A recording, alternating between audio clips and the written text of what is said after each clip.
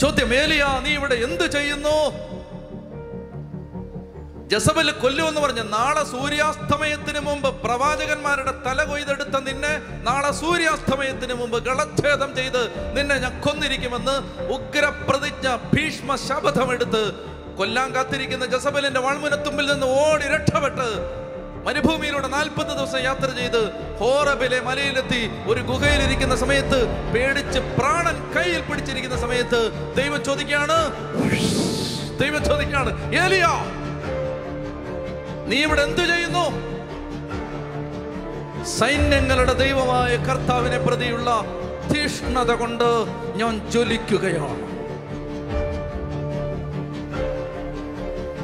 സൈന്യങ്ങളുടെ ദൈവമായ കർത്താവിനെ ചൊല്ലിയുള്ള തീഷ്ണത കൊണ്ട് ഞാൻ ചൊലിക്കുകയാണ് I'm burning inside I'm burning inside burning ദൈവസ്നേഹത്തിന്റെ തീ പ്രവാചകന്റെ ചങ്കിനകത്ത് ജസവലിന്റെ വാൾമുനയ്ക്ക് കെടുത്താനാവാത്ത വിധത്തിൽ ബേണിംഗ് ഇൻസൈഡ് ബേണിംഗ് ക്രിസ്ത്യാനിയുടെ ചങ്കിനകത്ത് എരിഞ്ഞു കത്തേണ്ടത് ഈ തീയാണ്. ഈ ഈ തീ ദൈവസ്നേഹത്തിന്റെ തീ. കാര്യസാധ്യത്തിന് വേണ്ടി ദൈവത്തെ തേടുന്നവരല്ല. ഇങ്ങനെ എല്ലാം മറന്ന് എല്ലാം മറന്ന് കൂടും കുടുംബവും കുലവും പേരും പെരുമയും പ്രശസ്തിയും മറന്ന് ദൈവത്തെ ഉള്ളിൽ തട്ടി സ്നേഹിക്കുന്ന ഒരു പത്തണമുണ്ടെങ്കിൽ മദ്രാസ് നഗരത്തിന് ദൈവസ്നേഹത്തിന്റെ തീ പിടിക്കും. പക്ഷെ ഇല്ല. ഭാഗ്യമോ ഭാഗ്യക്കേടോ ഇല്ല. അങ്ങനെ ഇല്ല എല്ലാവർക്കും അവരവരുടെ കാര്യം. എങ്ങനെയെങ്കിലും തട്ടിമുട്ടി ജീവിച്ചാൽ മതി. എങ്ങനെയെങ്കിലും എന്റെ കാര്യം നടന്നാൽ മതി. സൈന്യങ്ങളുടെ കർത്താവിനെ കുറിച്ചുള്ള തീഷ്ണത കൊണ്ട് ഞാൻ ജ്വലിക്കുകയാണ് ജ്വലിക്കുകയാണ്. അങ്ങനെ ജ്വലിക്കുന്ന ഒരു പദ്ധണമുണ്ടെങ്കിൽ നിങ്ങൾക്ക് ഭാരതത്തെ സുവിശേഷവൽക്കരിക്കാം.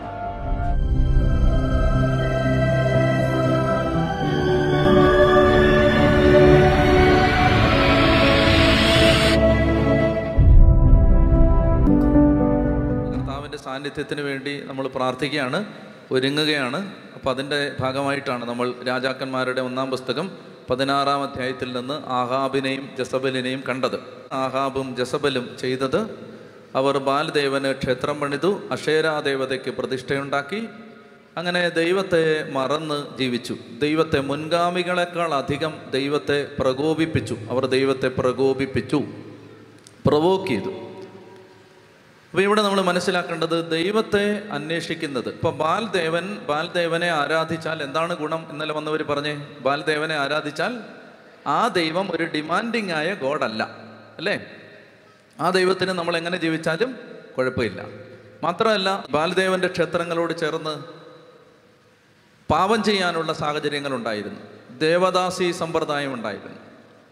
ഫെർട്ടിലിറ്റി കൾട്ട് എന്ന് പറയുന്ന ഒരു ആരാധനാ രീതി പുരാതന കാലങ്ങളിലുണ്ടായിരുന്നു. ഫെർട്ടിലിറ്റി കൾട്ട് ഭൂമി വിളവ് തരുന്നതിന് വേണ്ടി ഭൂമിയെ പ്രസാദിപ്പിക്കാൻ വേണ്ടി അമ്പലങ്ങളിലെ ദേവദാസിമാരുമായി അല്ലെങ്കിൽ ക്ഷേത്രങ്ങളിലെ പുരോഹിതന്മാരുമായി പാപകരമായ ബന്ധത്തിലേർപ്പെട്ട് ഭൂമിയെ പ്രസാദിപ്പിക്കുന്ന ഒരു കൾട്ടിന്റെ പേരാണ് ഫെർട്ടിലിറ്റി കൾട്ട് അപ്പോൾ അതിന്റെ ദേവതയായിരുന്നു അഷേരാ ദേവത അപ്പോൾ അതുകൊണ്ട് അക്ഷേരാ ദേവതയുടെ ക്ഷേത്രങ്ങളുമായി ബന്ധപ്പെട്ട് അക്ഷേരാ ദേവതയുടെ ക്ഷേത്രങ്ങളുമായി ബന്ധപ്പെട്ട് ഉണ്ടായിരുന്നത് ദേവദാസി സമ്പ്രദായം ഉണ്ടായിരുന്നു. ആ ക്ഷേത്രങ്ങളിലെ പുരോഹിതരുമായി പാവം ചെയ്യാനുള്ള ആരാധനാ രീതികൾ ഉണ്ടായിരുന്നു. അപ്പോൾ അതുകൊണ്ടാണ് ദൈവം ബൈബിളിൽ നമ്മൾ കാണുന്നുണ്ട് അക്ഷേരാ പ്രതിഷ്ഠകളെ മുഴുവൻ നശിപ്പിക്കാനും ഒരെണ്ണം പോലും അവശേഷിപ്പിക്കരുതെന്നൊക്കെ ദൈവം പറയുന്ന ഉഗ്രശാസനങ്ങൾ ഈ പശ്ചാത്തലത്തിൽ വേണം നാം മനസ്സിലാക്കുവാൻ. അപ്പോൾ ദൈവത്തിന്റെ ആ പദ്ധതിയിൽ ദൈവത്തിന്റെ ആ കരുണയിൽ ദൈവത്തിന്റെ മക്കൾ ഒരിക്കലും പാവം ചെയ്യരുതെന്ന് ദൈവത്തിന് നിർബന്ധമുണ്ട്. അതുകൊണ്ടാണ് നിങ്ങൾ വിചാരിക്കും ബൈബിളിലെ ദൈവം ക്രൂരനാണോ? കാനാൻ ദേശത്ത് ചെന്ന് കഴിയുമ്പോൾ അവരെ ആരെയും അവിടെ നിർത്തരുത് എല്ലാവരെയും അവിടുന്ന് തുടച്ചു മാറ്റണം എന്നൊക്കെ പറയുന്നത് ദൈവത്തിന് തിരഞ്ഞെടുക്കപ്പെട്ട മക്കൾ പാപത്തിൽ വീഴരുതെന്ന് നിർബന്ധമുണ്ട്. അപ്പം അതുകൊണ്ടാണ് ഈ ബാൽദേവനെ ആരാധിക്കരുതെന്ന് പറയുന്നത്. ഞാൻ പറയുന്നത് മനസ്സിലാവുന്നുണ്ടോ? ബാൽദേവനെ ആരാധിച്ചാൽ എന്താണ്? ബാലദേവനെ ആരാധിച്ചാൽ ജസബൽ പറഞ്ഞു കൊടുക്കുകയാണ് നമുക്ക് മഴ കിട്ടിയാൽ പോരെ. മഴ കിട്ടാൻ ഇപ്പോൾ ഇസ്രായേലിന്റെ ദൈവത്തോട് തന്നെ പ്രാർത്ഥിക്കണമെന്ന് എന്തിനാ? ബാലദേവനോട് പ്രാർത്ഥിച്ചാൽ ബാലദേവനാണ് മഴയുടെ ദൈവം. ബാലദേവൻ മഴ തരും. ബാലദേവനാണെങ്കിൽ ഒന്നും ചെയ്യേണ്ട കാര്യമില്ല നന്മയും ചെയ്യേണ്ട കാര്യമില്ല നീതിയും പ്രവർത്തിക്കേണ്ട ധർമ്മം പ്രവർത്തിക്കേണ്ട സ്നേഹിക്കേണ്ട. ആരോട് വൈരാഗ്യത്തിരുന്നാൽ ഒരു കുഴപ്പമില്ല. എന്നാൽ പ്രിയപ്പെട്ട മക്കളെ നമ്മുടെ ദൈവം ആഗ്രഹിക്കുന്നത് അങ്ങനെയല്ല. നമ്മുടെ ദൈവം ആഗ്രഹിക്കുന്നത് എന്തിനാണ് ദൈവം മനുഷ്യനായത്? വിശുദ്ധ അത്തനേഷ്യസ് പറഞ്ഞു. ഞാൻ എന്താ ഇന്നലെ പറഞ്ഞേ? എന്തിനാണ് ദൈവം മനുഷ്യനായത്? എന്തിനാണ് ദൈവം മനുഷ്യനായത്? നിങ്ങൾ ഇന്നലെ വന്നാണോ? ഒരു ഏറ് തരട്ടെ ഞാൻ. വിശുദ്ധ അത്തനേഷ്യസ് പറഞ്ഞു ഞാൻ പറഞ്ഞാണ് ഇന്നലെ. നമ്മളെ ദൈവങ്ങളാക്കാൻ വേണ്ടിയിട്ടാണ്. നമ്മളെ ദൈവങ്ങളാക്കാൻ വേണ്ടിയിട്ടാണ് ദൈവ മനുഷ്യൻ അല്ലാതെ നമുക്കിങ്ങനെ ചക്കയും മാങ്ങയും തരാൻ വേണ്ടിയിട്ടല്ല. നമ്മളെ ദൈവ തുല്യമാക്കാൻ വേണ്ടിയിട്ടാണ്. എന്ന് പറഞ്ഞാൽ നമ്മുടെ ഈ തരത്തിൽ നിന്നെല്ലാം നമ്മൾ മാറേണ്ടതുണ്ട്. ഇങ്ങനെ ജീവിച്ചാൽ പോരാ. ഇങ്ങനെ ജീവിച്ചാൽ പോരാ. എന്ന് ഇങ്ങനെ അടിയും പിടിയും കടിയും മാന്തുമായിട്ട് ജീവിച്ചാൽ പോരാ. നമുക്ക് മെച്ചപ്പെടണം നന്നാവണം. അതിനാണ് ദൈവം തന്റെ പുത്രനെ പാപപരിഹാരത്തിനായി ലോകത്തിലേക്ക് അയച്ചത്. മത്തായിയുടെ സുവിശേഷം ഒന്നാം അധ്യായം ഇരുപത്തി ഒന്നാം തിരുവചനം. അവൻ തന്റെ ജനത്തെ അവരുടെ പാപങ്ങളിൽ നിന്ന് മോചിപ്പിക്കും. അവൻ തന്റെ ജനത്തെ അവരുടെ പാപങ്ങളിൽ നിന്ന് മോചിപ്പിക്കും. അപ്പോൾ അവൻ തന്റെ ജനത്തെ അവരുടെ പാപങ്ങളിൽ നിന്ന് മോചിപ്പിക്കും. അപ്പോൾ പാപങ്ങളിൽ നിന്ന് മോചിപ്പിക്കാൻ വേണ്ടിയിട്ടാണ് ഈശോ വന്നത്. എങ്ങനെയെങ്കിലും അനുഗ്രഹം കിട്ടിയാൽ മതി. എങ്ങനെയെങ്കിലും അനുഗ്രഹം കിട്ടിയാൽ മതി എന്നുള്ള ചിന്ത വെടിയണം. അത് ക്രിസ്തീയമല്ല. എങ്ങനെയെങ്കിലും അനുഗ്രഹം കിട്ടിയാൽ പോരാ. നല്ല വഴിക്ക് ദൈവത്തെ ആരാധിച്ച് ദൈവത്തെ സ്നേഹിച്ച് ദൈവത്തിന്റെ കൽപ്പനകൾ അനുസരിച്ച് അനുഗ്രഹം കിട്ടണം. ഇതാണ് ക്രിസ്ത്യൻ സ്പിരിച്വാലിറ്റി. പിടികിട്ടുന്നുണ്ടോ? എങ്ങനെയെങ്കിലും തട്ടിക്കൂട്ടി അവിടെ പോയി ഇങ്ങനെ ചെയ്താൽ ഇവിടെ പോയി ഇങ്ങനെ ചെയ്താൽ അനുഗ്രഹം കിട്ടും. അത് അതല്ല ക്രിസ്തീയ രീതി. ബൈബിൾ പഠിപ്പിക്കുന്ന രീതി എന്ന് പറയുന്നത് ദൈവത്തെ സ്നേഹിച്ച് ദൈവത്തെ ആരാധിച്ച് ദൈവത്തിന്റെ കൽപ്പനകൾ അനുസരിച്ച് അനുഗ്രഹം പ്രാപിക്കണം. അതുകൊണ്ടാണ് നമ്മൾ പറയുന്നത് വിശുദ്ധ ജീവിതം നയിക്കുക ദൈവത്തെ സ്നേഹിക്കുക ദൈവത്തെ ആരാധിക്കുക ഒന്നിനും ഒരു കുറവും ഉണ്ടാവില്ല ഒരു കുറവും ഉണ്ടാവില്ല എന്നെ വിശ്വസിക്കും. ഒന്നിനും ഒരു കുറവും ഉണ്ടാവില്ല. എന്താ വേണ്ടത്? പണം വേണോ? ദൈവം പണം തരും. ആരോഗ്യം വേണോ? ദൈവം ആരോഗ്യം തരും. സഹായം വേണോ? ദൈവം സഹായം തരും. പേരും പ്രശസ്തിയും വേണോ? ദൈവം അത് തരും. പദവി വേണോ? ദൈവം അത് തരും. സ്ഥാനമാനങ്ങൾ വേണോ? അത് തരും. എന്താ വേണ്ടേ? എല്ലാം ദൈവം തരും. ഒരു കാര്യം വിശുദ്ധ ജീവിതത്തിന് വേണ്ടി ഒത്തുതീർപ്പില്ലാത്ത ഒരു സമരത്തിന് തയ്യാറാവുക. പോലീസിലെ പറയുന്നുണ്ട് എന്നാൽ നമ്മൾ അങ്ങനെ അങ്ങനെ നമുക്ക് നമ്മൾ അതിന് അങ്ങനെ നമ്മൾ കഷ്ടപ്പെട്ടിട്ടില്ല. നമുക്ക് അനുഗ്രഹം കിട്ടാൻ വേണ്ടി നമ്മൾ നടത്തിയ കഷ്ടപ്പാടുകളുടെ പത്തിലൊന്ന് കഷ്ടപ്പാട് വിശുദ്ധരാവാൻ വേണ്ടി നടത്തിയിരുന്നെങ്കിൽ നമ്മൾ ഇതിനോടകം വിശുദ്ധരായനെ. കാര്യങ്ങൾ നടക്കാൻ വേണ്ടി നമ്മൾ നടത്തിയ യാത്രകളുടെയും കഷ്ടപ്പാടിന്റെയും പത്തിലൊന്ന് കഷ്ടപ്പാട് നമ്മൾ വിശുദ്ധരാവാൻ വേണ്ടി നടത്തിയിരുന്നെങ്കിൽ നമ്മുടെ കുടുംബത്തിൽ ഇപ്പോൾ ഇഷ്ടംപോലെ വിശുദ്ധരുണ്ടായേനെ. ഹീബ്രൂസ് ട്വൽവ് ഫോർ എബ്രായർ പന്ത്രണ്ട് നാല്. വായിച്ചേ? പാപത്തിനെതിരായുള്ള സമരത്തിൽ നിങ്ങൾക്ക് ഇനിയും രക്തം ചൊരിയേണ്ടി വന്നിട്ടില്ല. എന്താ പറയുന്നത്? പാപത്തിനെതിരെയുള്ള സമരത്തിൽ നിങ്ങൾക്ക് ഇനിയും രക്തം ചൊരിയേണ്ടി വന്നിട്ടില്ല. എന്ന് പറഞ്ഞാൽ എന്താണ്? പാപം ചെയ്യാതിരിക്കണം എന്ന് പറഞ്ഞ് നമ്മൾ ആരും രക്തം ചൊരിഞ്ഞിട്ടില്ല. നമ്മൾ അതിനുവേണ്ടി കഷ്ടപ്പെട്ടിട്ടില്ല. നമ്മൾ അതിനുവേണ്ടി എനിക്ക് പാവം എനിക്ക് പാവം ചെയ്യാൻ പാടില്ല എനിക്ക് പാവം ചെയ്യണ്ട എന്ന് പറയും മരിയ കൊരത്തി പാപത്തിനെതിരെയുള്ള സമരത്തിൽ രക്തം ചൊരിഞ്ഞ ആളാണ്. അലക്സാണ്ടർ എന്ന് പറയുന്ന ചെറുപ്പക്കാരൻ വന്നിട്ട് പാവം ചെയ്യാനായിട്ട് പ്രേരിപ്പിക്കുന്ന സമയത്ത് അവൾ പറയും അലക്സാണ്ടർ പാവം ചെയ്യാൻ പാടില്ല. അമ്മ പറഞ്ഞിട്ടുണ്ട് പാവം ചെയ്യുന്നതിനേക്കാൾ നീ മരിച്ചു എന്ന് കേൾക്കുന്നതാണ് എനിക്കിഷ്ടം. നീ പാവം ചെയ്തു എന്ന് കേൾക്കുന്നതിനേക്കാൾ എനിക്ക് നീ മരിച്ചു എന്ന് കേൾക്കുന്നതാണ് ഇഷ്ടം. പ്രിയപ്പെട്ട മക്കളെ ഞാനിത് പറയുന്നതിന്റെ കാരണം എന്തെന്ന് വെച്ചാൽ നമ്മൾ ദൈവം നമുക്ക് തരുന്ന അനുഗ്രഹങ്ങളെക്കുറിച്ച് മാത്രമേ പലപ്പോഴും ശ്രദ്ധിക്കുന്നുള്ളൂ. ദൈവം നമ്മളിൽ നിന്ന് ഒരു വിശുദ്ധ ജീവിതം ആഗ്രഹിക്കുന്നുണ്ട് എന്ന് നമ്മൾ പലപ്പോഴും ശ്രദ്ധിക്കുന്നില്ല. പുലശ്രീ ഇവിടെ പറയുകയാണ് പാപത്തിനെതിരെയുള്ള സമരത്തിൽ നിങ്ങൾക്ക് ഇനിയും രക്തം ചൊരിയേണ്ടി വന്നിട്ടില്ല. എന്റെ ഈ കോപ സ്വഭാവം എനിക്ക് മാറ്റണം. ഇനി ഈ വൈരാഗ്യമുള്ള സ്വഭാവം എന്റെ വെറുപ്പുള്ള ഹൃദയം അതെനിക്ക് മാറ്റണം. അതിനുവേണ്ടി എത്ര പേര് നമ്മൾ ഉപവാസങ്ങൾ എടുത്തു? നമ്മുടെ കാര്യങ്ങൾ നമ്മുടെ മക്കളുടെ കാര്യങ്ങൾ ഒക്കെ നടത്താൻ നമ്മൾ ഉപവാസങ്ങൾ എടുത്തു. എത്ര പേര് ഉപവാസം എടുത്തു? എനിക്കൊരു വിശുദ്ധ ജീവിതം എനിക്ക് ഈ ജഡത്തിന്റെ അശുദ്ധിയിൽ നിന്ന് പുറത്ത് കിടക്കണം. അതിനൊരു അമ്പത് ദിവസം ഞാൻ ഉപവസിച്ച് പ്രാർത്ഥിക്കുകയാണ്. എത്ര പേര് ഉപവസിച്ചു? ആരും ഉപവസിച്ചില്ല. എനിക്ക് പാവം എനിക്ക് വിശുദ്ധനാവണം എനിക്ക് വിശുദ്ധയാവണം. എനിക്ക് എന്റെ കർത്താവിന് ഇഷ്ടമുള്ളൊരു ജീവിതം നയിക്കണം. എന്റെ ഈശോ എന്റെ കൺമുമ്പിൽ പതിനാറാം സങ്കീർത്തന എട്ടാം വാക്യം എപ്പോഴും എന്റെ കർത്താവിനെ എന്റെ കൺമുമ്പിൽ കണ്ടുകൊണ്ട് ജീവിക്കണം. എനിക്ക് തെറ്റ് ചെയ്യണ്ട. എനിക്ക് തിന്മ കഴിയണ്ട. എനിക്ക് ദൈവത്തെ പ്രസാദിപ്പിക്കണം.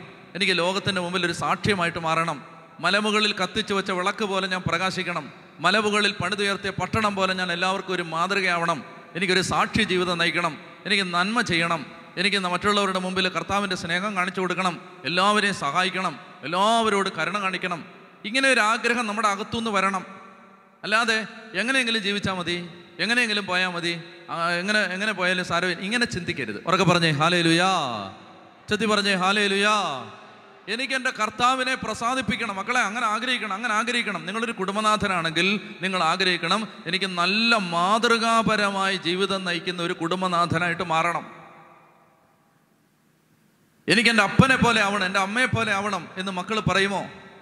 എനിക്ക് എന്റെ അപ്പനെ പോലെ ഒരു വിശുദ്ധ ജീവിതം നയിക്കണം. എനിക്ക് എന്റെ അമ്മയെ പോലെ ഒരു വിശുദ്ധ ജീവിതം നയിക്കണം. പ്രിയപ്പെട്ട മക്കളെ ഇതായിരിക്കണം നമ്മുടെ ആഗ്രഹം. ഞാൻ പറയുന്നത് എന്തെന്നറിയാമോ? ഇത് നിങ്ങളൊന്ന് ആഗ്രഹിച്ച് നോക്കി. നിങ്ങൾ ഇതൊന്ന് ആഗ്രഹിക്കുക എനിക്ക് കുറച്ചുകൂടെ പ്രാർത്ഥിക്കണം. എനിക്ക് കുറച്ചുകൂടെ ബൈബിൾ പഠിക്കണം. എനിക്ക് കുറച്ചുകൂടെ ദൈവത്തെ പ്രസാദിപ്പിക്കണം. എനിക്ക് നന്നായിട്ട് വിശുദ്ധ കുർബാനയും ഞാൻ ചൊല്ലുന്ന പ്രാർത്ഥനകളുടെ അർത്ഥം മനസ്സിലാക്കി പ്രാർത്ഥിക്കണം. ഇങ്ങനെ ആത്മീയ കാര്യങ്ങൾക്ക് വേണ്ടി നിങ്ങൾ പ്രാർത്ഥിക്കുമ്പോൾ ഭൗതിക കാര്യങ്ങൾ നിങ്ങൾ പ്രാർത്ഥിക്കാതെ തന്നെ നടക്കുമെന്ന് യേശുവിന്റെ നാമത്തിൽ ഞാൻ നിങ്ങളോട് പറയും. ഭൗതിക കാര്യങ്ങൾ നിങ്ങളൊന്നും പ്രാർത്ഥിക്കേണ്ട കാര്യമില്ല. പ്രാർത്ഥിക്കേണ്ട ആവശ്യമില്ല. ഞാൻ പറയുന്നത് എന്നെ വിശ്വസിക്കും. ഞാനിത് എന്നും കാണുന്ന കാര്യമേ പറയുന്നത് ഭൗതിക കാര്യങ്ങൾക്ക് വേണ്ടി നമ്മൾ പ്രാർത്ഥിക്കാതെ തന്നെ ദൈവം ഭൗതിക കാര്യങ്ങളെല്ലാം നടത്തി തരും ഒരു വചനം വായിച്ചേ. യോഹന്നാന്റെ മൂന്നാം ലേഖനം. രണ്ടാമത്തെ വാക്യം. ഒന്ന് മുതൽ വായിച്ചു. യോഹന്നാന്റെ മൂന്നാം ലേഖനം. ഒന്ന് മുതൽ വായിച്ചു. സഭാശ്രേഷ്ഠനായ ഞാൻ ആത്മാർത്ഥമായി സ്നേഹിക്കുന്ന പ്രിയപ്പെട്ട ഗായൂസിന് എഴുതുന്നത് വാത്സല്യ ഭാജനമേ നിന്റെ ആത്മാവ് ക്ഷേമസ്ഥിതിയിലായിരിക്കുന്നത് പോലെ എല്ലാ കാര്യങ്ങളിലും നിനക്ക് ഐശ്വര്യം ഉണ്ടാകട്ടെ എന്നും നീ ആരോഗ്യവാനായിരിക്കട്ടെ എന്നും ഞാൻ പ്രാർത്ഥിക്കുന്നു. ഒന്നുകൂടെ വായിച്ചാൽ അതിനർത്ഥം മനസ്സിലാവും. വാത്സല്യ ഭാജനമേ നിന്റെ ആത്മാവ് ക്ഷേമസ്ഥിതിയിലായിരിക്കുന്നത് പോലെ തന്നെ എല്ലാ കാര്യങ്ങളിലും നിനക്ക് ഐശ്വര്യം ഉണ്ടാകട്ടെ എന്നും നീ ആരോഗ്യവാനായിരിക്കട്ടെ എന്നും ഞാൻ പ്രാർത്ഥിക്കുന്നു. ഒന്നുകൂടെ വായിച്ചാൽ ചിലപ്പോൾ അർത്ഥം മനസ്സിലാവുമായിരിക്കും. വാത്സല്യഭാജനമേ നിന്റെ ആത്മാവ് ക്ഷേമസ്ഥിതിയിലായിരിക്കുന്നത് പോലെ തന്നെ ആത്മാവ് നല്ല നിലയിൽ ഗായൂസിന്റെ ആത്മാവിനെ കുറിച്ച് ഗായൂസിന്റെ എൽഡറായ യോഹന്നാ സ്ലീഗായിക്ക് അറിയാം യോഹന്നാ സ്ലീഹ സ്നേഹിച്ചിരുന്ന അദ്ദേഹത്തിന്റെ ശിഷ്യനായിരുന്ന അദ്ദേഹത്തിന്റെ സഭയെ നയിച്ചിരുന്ന ഗായൂസ് എന്ന ഈ ശ്രേഷ്ഠനോട് യോഹന്നാ സ്ലീഹ പറയുകയാണ് വാത്സല്യ ഭാജനമേ നിന്റെ ആത്മാവിന്റെ അവസ്ഥ എനിക്കറിയാം. നിന്റെ ആത്മാവ് ക്ഷേമസ്ഥിതിയിലായിരിക്കുന്നത് പോലെ തന്നെ എല്ലാ കാര്യത്തിലും നിനക്ക് ഐശ്വര്യം ഉണ്ടാകട്ടെ നീ ആരോഗ്യവാനായിരിക്കട്ടെ. കണ്ട എന്താണ് ഇവിടുത്തെ ചിന്ത? ആത്മാവ് ക്ഷേമസ്ഥിതിയിലായിരുന്നാൽ എല്ലാ കാര്യത്തിലും ഐശ്വര്യം ഉണ്ടാവും നിനക്ക് ആരോഗ്യം ഉണ്ടാവും. ഒന്ന് കൈയടിച്ച കർത്താവിന് നന്ദി പറഞ്ഞേ. അപ്പം ഇതാണ് ആളുകളുടെ മനസ്സിൽ കയറാത്തത് എങ്ങനെയെങ്കിലും കാര്യം നടന്നാൽ മതി എന്ന് ചിന്തിക്കരുത്. എന്താ പ്രശ്നം എന്നറിയാമോ? ഇപ്പം ഈ കാര്യം നടക്കും. നാളെ വേറെ പ്രശ്നം വരും. മറ്റന്നാൾ വേറെ പ്രശ്നം വരും. അപ്പോൾ വീണ്ടും വീണ്ടും വീണ്ടും ഓടണ്ടേ? പ്രിയപ്പെട്ട എന്റെ മക്കളെ ഇത് ശ്രദ്ധിക്ക്. ആത്മാവ് ക്ഷേമസ്ഥിതിയിലായിരുന്നാൽ ആത്മാവ് ക്ഷേമസ്ഥിതിയിലായിരുന്നാൽ എല്ലാ കാര്യത്തിലും ഐശ്വര്യം ഉണ്ടാവും. അതാണ് വായിച്ചത് മത്തായി ആറ് മുപ്പത്തിമൂന്ന്. നിങ്ങൾ ആദ്യം അവിടുത്തെ രാജ്യവും അവിടുത്തെ നീതിയും അന്വേഷിക്കുക. അതോടൊപ്പം മറ്റുള്ളവയെല്ലാം നിങ്ങൾക്ക് ലഭിക്കും. നിങ്ങൾ ആദ്യം അവിടുത്തെ രാജ്യവും അവിടുത്തെ നീതിയും അന്വേഷിക്കുക. അതോടൊപ്പം മറ്റുള്ളവയെല്ലാം നിങ്ങൾക്ക് കിട്ടും.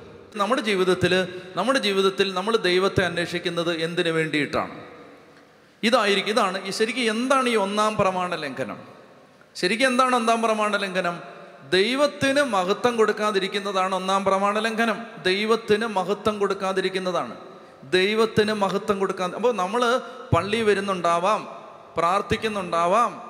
പക്ഷെ അതല്ല എന്തിനു വേണ്ടി? ഇന്റൻഷൻ എന്താണ്? നമ്മുടെ ഉദ്ദേശ ശുദ്ധി എന്താണ്? എന്തിനു വേണ്ടിയാണ് ഞാൻ ഇതെല്ലാം ചെയ്യുന്നത്? ദൈവത്തെ പ്രസാദിപ്പിക്കാനാണോ? ഞാൻ ഒരു ഉദാഹരണം പറയട്ടെ. ഞാനൊരിക്കലും വർഷങ്ങൾക്ക് മുമ്പാണ് എന്റെ പൗരോഹിത്യത്തിന്റെ രണ്ടാമത്തെ വർഷം ഞാൻ ഒരു വീട്ടിൽ ചെന്നു. ആ വീട്ടിൽ ചെല്ലുമ്പോൾ ആ വീട് ഒരു ചെറ്റക്കുടിലാണ്. ചെറ്റക്കുടിൽ. എന്ന് പറഞ്ഞാൽ മനസ്സിലാവോ? ഒരു കുടിൽ. ഓലയൊക്കെ കെട്ടി ഒരു ഷെഡാണ്. അപ്പോൾ ആ വീട്ടിൽ രണ്ട് പെൺകുട്ടികൾ ഭാര്യ ഭർത്താവ്. ഭർത്താവാണെങ്കിൽ ആനപ്പുറത്തുനിന്ന് വീണ് നടുവിന് പരിക്ക് പറ്റി വലിയ ജോലിയൊന്നും ചെയ്യാൻ പറ്റാത്ത ഒരാൾ. അപ്പോൾ ആ കുടുംബത്തിൽ ചെന്നപ്പോൾ അവരെന്റെ അടുത്ത് പറഞ്ഞ വെച്ചാൽ മഴ പെയ്യുന്ന സമയത്ത് മൊത്തം വെള്ളം കയറി നനഞ്ഞ് അപ്പോൾ അന്ന് ഞാൻ ആ വീട്ടിൽ നിന്ന് പ്രാർത്ഥിച്ച എന്റെ കർത്താവേ നിങ്ങൾക്ക് പെട്ടെന്ന് ഒരു വീട് കൊടുക്കണേ കർത്താവേ. വൈകുന്നേരം ഞാൻ പള്ളിയിലിരിക്കുന്ന സമയത്ത് ഞാൻ പ്രാർത്ഥിച്ചു കർത്താവെ ആ അവനൊരു വീടുണ്ടായിരുന്നെങ്കിൽ പരിശുദ്ധാത്മാവ് പറഞ്ഞു നീ ഇങ്ങനെ വീട് കൊടുക്കണേ വീട് കൊടുക്കണേ എന്ന് പ്രാർത്ഥിക്കാതെ നീ ഒരു വീട് വെച്ച് കൊടുക്കാൻ പറഞ്ഞു. ഞാൻ പറഞ്ഞു എന്റെ കർത്താവ് എന്റെ പൈസ ഇല്ലല്ലോ നിനക്കറിയാലോ? നീ ഇറങ്ങ് പൈസ ഞാൻ തരാം. ആത്മാവ് ഒരു പ്രേരണ തരികയാണ്. അപ്പോൾ അവന് വീട് വെച്ചു. അപ്പോൾ അന്ന് വൈകുന്നേരം അവൻ വന്നിട്ട് എന്റെ അടുത്ത് പറയുകയാണെന്ന് വെച്ചാൽ പള്ളിയിൽ നിന്ന് ഉപയോഗിക്കാതെ കിടക്കുന്ന രണ്ട് ബെഞ്ച് തരുമെന്ന് ചോദിച്ചു. ഞാൻ ചോദിച്ചു അതെന്തിനാണ് ആ ആ രണ്ട് ബെഞ്ച് കൂട്ടിക്കെട്ടിയാൽ എന്റെ മക്കൾക്ക് കട്ടിലാവുമെന്ന് പറഞ്ഞു. വന്ന് രാത്രിയിൽ ഞാൻ തീരുമാനം എടുത്തു ആരുടെ മുമ്പിൽ കൈ നീട്ടിയിട്ടാണെങ്കിലും ഇവനൊരു വീട് വെച്ച് കൊടുക്കണം. അങ്ങനെ വീട് പണി തുടങ്ങി. കുറേ അധികം ചെറുപ്പക്കാരൊന്നും എന്റെ കൂടെ ഉണ്ട് ഞാൻ അവരോട് പറഞ്ഞു നമുക്ക് പണമില്ലാത്തതുകൊണ്ട് മക്കളെ നമുക്ക് തന്നെ പോയി കുറേ പണി ചെയ്യണം. അപ്പോൾ ഈ ഗ്രൗണ്ടെല്ലാം നിരത്തുന്നത് തറ നിരത്തി അടിത്തറ കെട്ടുന്നത് എല്ലാം ഈ പിള്ളേർ തന്നെ ചെയ്തു. അത് കഴിഞ്ഞിട്ട് കുറേ ദിവസങ്ങൾ ഇവർ മടുത്തിട്ട് എന്റെ അടുത്ത് പറഞ്ഞു അച്ഛാ ഞങ്ങൾ മടുത്തു. ഇനി അച്ഛൻ കുറച്ച് പൈസ കൊടുത്ത് ആരെങ്കിലും കൊണ്ട് ചെയ്യിക്കുക അപ്പോൾ ഈ ഹോളോ ബ്രിക്ക് കൊണ്ടുവന്ന് ഇറക്കി. ഒരു മലയുടെ മേളിലാണ്. അവിടേക്ക് വണ്ടി പോവില്ല. അപ്പം ഇത് ചുമന്ന് കയറ്റണം. പിള്ളേരെല്ലാം തളർന്നിരിക്കുകയാണ്. ഇനി അവരെ നിർബന്ധിക്കാൻ പറ്റില്ല. അപ്പം ഞാൻ ഈ കുടുംബനാഥനെ വിളിച്ചിട്ട് പറഞ്ഞു എടാ നമ്മുടെ കയ്യിൽ പൈസ ഇല്ലെന്ന് നിനക്കറിയാമല്ലോ ആകെ കുറച്ച് കാശേ ഉള്ളൂ. അതുകൊണ്ട് നിന്റെ വീട് നന്നായിട്ട് തീർക്കണം. അതുകൊണ്ട് നീ എന്നാ ചെയ്യണം? നീ ഇങ്ങനെ മേളിൽ നിന്ന് താഴോട്ട് ഇറങ്ങി വരികയും താഴെ നിന്ന് മേളിലോട്ട് പോവുകയൊക്കെ ചെയ്യുന്നത് ഒത്തിരി തവണ പോകുമല്ലോ പോകുമ്പോൾ ഓരോ കട്ട എടുത്തുകൊണ്ട് പോകണം നല്ല ഐഡിയ അല്ലേ? എന്റെ തലയിൽ ഇതുപോലെ ഒത്തിരി ആശയമുണ്ട്. വേണേൽ പറഞ്ഞുതരാം. വന്നാൽ മതി. എന്തെളുപ്പാണ്? ആ ഞാൻ പറഞ്ഞു ആ വീട്ടിൽ ആരോഗ്യമുള്ള മൂന്ന് പേരുണ്ട്. ആരോഗ്യമുള്ള മൂന്ന് പേര് കയറി പോകുമ്പോഴും പിന്നീട് വീണ്ടും കയറി പോകുമ്പോഴും പിന്നീട് വീണ്ടും കയറി ഒരു നാല് തവണ നിങ്ങൾ കയറി പോകുമെങ്കിൽ എത്ര ഘട്ടം മേളിൽ ചെല്ലും? പന്ത്രണ്ട് ഘട്ടം മേളിൽ ചെല്ലും. അല്ലേ? അല്ല. അല്ലേ? ഞാൻ കണക്കിന് തോറ്റാളാ. ആ പന്ത്രണ്ടോ എത്ര ആയാലും ചെല്ലും. ഇപ്പം ഞാൻ പറഞ്ഞാൽ അങ്ങനെ ഇത് കുറച്ച് നമുക്ക് സമയമുണ്ട് ഇഷ്ടം പോലെ. ഇഷ്ടം പോലെ സമയമുണ്ട് നമുക്ക് പതുക്കെ ഈ വീട് വെക്കാം. അപ്പം അവൻ പറഞ്ഞു അച്ഛനിപ്പോൾ എന്താ വേണ്ടേ? ഈ കട്ടമേളിലെത്തണം കട്ടമേളിലെത്തിയാൽ പോരെ? അത് ഞാൻ എത്തിച്ചേരാന്ന് പറഞ്ഞു. അപ്പോൾ അവന് എങ്ങനെയോ ആരെയൊക്കെ അവന്റെ കൂട്ടുകാരാണ്ടൊക്കെ വിളിച്ചിട്ട് ഇവരെല്ലാം കൂടെ ചേർന്ന് എങ്ങനെയോ പിറ്റേ ദിവസം രാവിലെ എന്റെ അടുത്ത് വന്നിട്ട് പറഞ്ഞു കട്ടയെല്ലാം മേളിൽ എത്തിച്ചിട്ടുണ്ടെന്ന് പറഞ്ഞു. ഞാൻ പറഞ്ഞു സബാഷ് അങ്ങനെ ആവണം. സുഭാഷ് അല്ല സബാഷ് എന്ന് പറഞ്ഞാൽ കൊള്ളാം. അപ്പോൾ അവൻ എന്റെ അടുത്ത് അപ്പോൾ അവനിങ്ങനെ നിൽക്കുകയാണ് അവനിങ്ങനെ തലയൊക്കെ ചൊറിഞ്ഞ് നിൽക്കുകയാണ് അച്ഛാ അപ്പോൾ അതെങ്ങനെയാണെന്ന് ചോദിച്ചാൽ അതിന്റെ കാര്യം? എന്ത് കാര്യം? അല്ല കട്ട എങ്ങനെ എത്തിയില്ലേ പിന്നെന്ത് കാര്യം? അല്ല കട്ടമേളിൽ എത്തിച്ചെന്റെ എത്തിച്ചെന്റെ അതിന്റെ പൈസ എങ്ങനെയാന്ന് ചോദിച്ചു? പൈസ? പൈസയോ? പൈസ ഇല്ലാത്തതുകൊണ്ടല്ലേ നിന്നോട് ചെയ്യാൻ പറഞ്ഞേ? പാവം പറഞ്ഞു അച്ഛാ അങ്ങനല്ല. നമ്മളിങ്ങനെ പണിഞ്ഞല്ലേ പണിയെടുത്തല്ലേ ഞാൻ ചോദിച്ചു എടാ ഇത് എനിക്ക് ഞാൻ വീട് വെക്കുമല്ല. നിനക്കും നിന്റെ ഭാര്യയ്ക്കും നിന്റെ മക്കൾക്കും നനയാതെ കിടക്കാൻ ഞാൻ വീട് വെച്ച് സഹായിച്ചു തരികയാണ്. നീ എന്നോട് കാശ് ചോദിക്കുന്നു. പാവം പറഞ്ഞു അത് അങ്ങനെ അച്ഛാ അത് ഇവൻ എന്നോടങ്ങ് വഴക്കായി. ഞാൻ പറഞ്ഞു ഒരു കാര്യം ചെയ് എന്നാ. ദൈവമേ നിന്നെക്കൊണ്ട് ഞാൻ ചെയ്യിച്ചല്ലോടാ എന്ന് പറഞ്ഞിട്ട് കുറച്ച് പണം കൊടുത്തിട്ട് ഞാൻ പറഞ്ഞു ഇനി മേലാൽ ഞാൻ എനിക്ക് വേണ്ടി പണിയുന്ന എന്റെ വീടിന്റെ പഞ്ചായത്തിൽ പോലും നീ വരരുത്. വീടെല്ലാം തീർന്നു കഴിയുമ്പോൾ താക്കോൽ റെഡി ആയിട്ട് നിന്നെ ഞാൻ വിളിക്കാം. അന്നേരം നീ വന്നാൽ മതി. നീ വരരുത് അങ്ങോട്ട്. നീ ഇനി നാളെ വന്ന് എന്തെങ്കിലും ചെയ്തിട്ട് കാശ് ചോദിക്കാൻ എന്റെ അടുത്ത് വന്ന്. എന്റെ കാശില്ല. കുറച്ച് ദിവസം കഴിഞ്ഞപ്പോൾ ഇവൻ വേറെന്തോ ഒരു ആവശ്യത്തിന് എന്നെ വിളിച്ചു. ഇവനിങ്ങനെ കാശ് വീട് വെച്ച് കൊടുക്കുന്ന കൂട്ടത്തിൽ ഞാൻ കാശും കൊടുത്തോണ്ടിരിക്കും. നിങ്ങളൊന്ന് ആലോചിച്ചു ആലോചിച്ച് നോക്കിയേ. ഞാൻ പറഞ്ഞു മേലാലി പേര് പറഞ്ഞ് എന്നെ വിളിക്കരുത്. നിന്നെ ഞാൻ ശരിയാക്കി കളയും. ഞാൻ ആ കൊച്ചുങ്ങളെ ഓർത്തിട്ട് വീട് പണിയുന്നതാണ്. അത് കഴിഞ്ഞപ്പോൾ കുറച്ച് ദിവസം കഴിഞ്ഞപ്പോൾ പിന്നെ ഇവനിങ്ങനെ വിളിക്കുമ്പോൾ ഞാൻ എടുക്കില്ല. ഈ കാശ് ചോദിക്കാൻ വിളിക്കുന്നതാണ് ഞാൻ ഫോൺ എടുക്കാത്തതിന് ഒരു ദിവസം അവൻ പള്ളിയിൽ ഒരു പ്രോഗ്രാം നടക്കുകയാണ്. ആ സമയത്ത് അവന്റെ ഒരു കൂട്ടുകാരനെ ഫോൺ വിളിച്ചിട്ട് അവൻ എന്തൊക്കെയോ എന്നെ തെറി പറഞ്ഞു. അപ്പോഴും അവന്റെ വീട് പണി തീർന്നിട്ടില്ല. സാധാരണഗതി തീർന്നിട്ടാണ് ആളുകൾ പറയുന്നത്. ഇവൻ കുറച്ച് നേരത്തെ തുടങ്ങി. അപ്പോൾ ഭയങ്കര തെറി. അപ്പോൾ അവൻ ഈ ബഹളത്തിന് പാട്ടൊക്കെ വെച്ചിരിക്കുകയാണ്. അപ്പോൾ അവൻ ഈ ബഹളത്തിനിടയിൽ അച്ഛൻ അച്ഛൻ എന്നൊക്കെ പറയുമ്പോൾ അച്ഛന് ഫോൺ കൊടുക്കാനാണെന്ന് വിചാരിച്ചിട്ട് ഈ ഫോൺ കൊണ്ടുവന്ന് എന്റെ തന്നു. മറ്റവൻ അറിഞ്ഞിട്ടില്ല ഞാൻ ഫോൺ എടുത്തത്. പച്ചത്തെറി പരട്ടത്തെറി പുളിച്ചതെറി ഇവൻ എന്നെ വിളിക്കുന്നത് മുഴുവൻ ഞാൻ കേട്ടു. എന്നാൽ മറ്റവന് തരാതിരിക്കണ്ടേ? തെറിയാന്നറിഞ്ഞെങ്കിലും തരാതിരിക്കണ്ടേ? അവൻ കൊണ്ടുവന്ന് അച്ഛനൊരു സമ്മാനം ആയിക്കോട്ടെ എന്ന് വിചാരിച്ചിട്ട് ആ ഫോൺ കൊണ്ടുവന്ന് തന്ന് പുളിച്ച തെറി മുഴുവൻ ഞാൻ കേട്ടു. വെറും പന്നത്തെറി. യോ അമ്മച്ചി എന്നാ പന്നത്തെറിയായിരുന്നറിയാം? എന്നാ തെറിയാണെന്ന് അറിയണമെങ്കിൽ ഇത് കഴിയുമ്പോൾ വന്നാൽ ഞാൻ പറഞ്ഞു തരാം ഭയങ്കര തെറി പന്നത്തെറി. പന്നത്തെറി. ഓ മുഴുവൻ ഞാൻ കേട്ടു. കേട്ടപ്പോൾ എനിക്കൊന്നും തോന്നിയില്ല. അങ്ങനെയാണ് ചില അടി കൊള്ളുമ്പോൾ ഒന്നും തോന്നില്ല അടി കഴിഞ്ഞ് പത്ത് മിനിറ്റ് കഴിയുമ്പോഴേ വേദന വരുത് കേട്ടപ്പോൾ എനിക്ക് ഞാൻ ചിരിച്ചുകൊണ്ട് ഇത് കേൾക്കുകയാണ്. ഒരു പത്ത് മിനിറ്റ് കഴിഞ്ഞപ്പോൾ ഉണ്ടല്ലോ. എന്റെ ദൈവമേ എനിക്ക് ഭയങ്കര പ്രയാസം വരാൻ തുടങ്ങി. ഞാൻ ചിന്തിച്ചു ദൈവമേ ഞാൻ ഇവനാണല്ലോ വീട് വെച്ച് കൊടുത്തോണ്ടിരുന്നത്. എന്റെ കർത്താവ് ഇവന് വീട് വെച്ച് കൊടുക്കുകയും ചെയ്തു. ഇവന്റെ തെറി മുഴുവൻ കേൾക്കുകയും ചെയ്തു. ഒരു മണിക്കൂറോടെ കഴിഞ്ഞപ്പോൾ എന്റെ ഉള്ളിൽ ഭയങ്കര അരിശമായി സങ്കടമായി ദേഷ്യമായി. ഞാനിങ്ങനെ ചിന്തിച്ചു നല്ല ചുണക്കുട്ടന്മാരായ പത്ത് പതിനഞ്ച് ചെറുപ്പക്കാരന്റെ കൂടെ ഉണ്ട്. എല്ലാത്തിനും നല്ല ഭൂതകാലമൊന്നും ഇല്ലാത്തവരാണ്. എല്ലാത്തിനും. ഒന്ന് പൊടി തട്ടി എടുത്താൽ ഇവന്മാരെല്ലാം ഒന്ന് ഉഷാറാവും.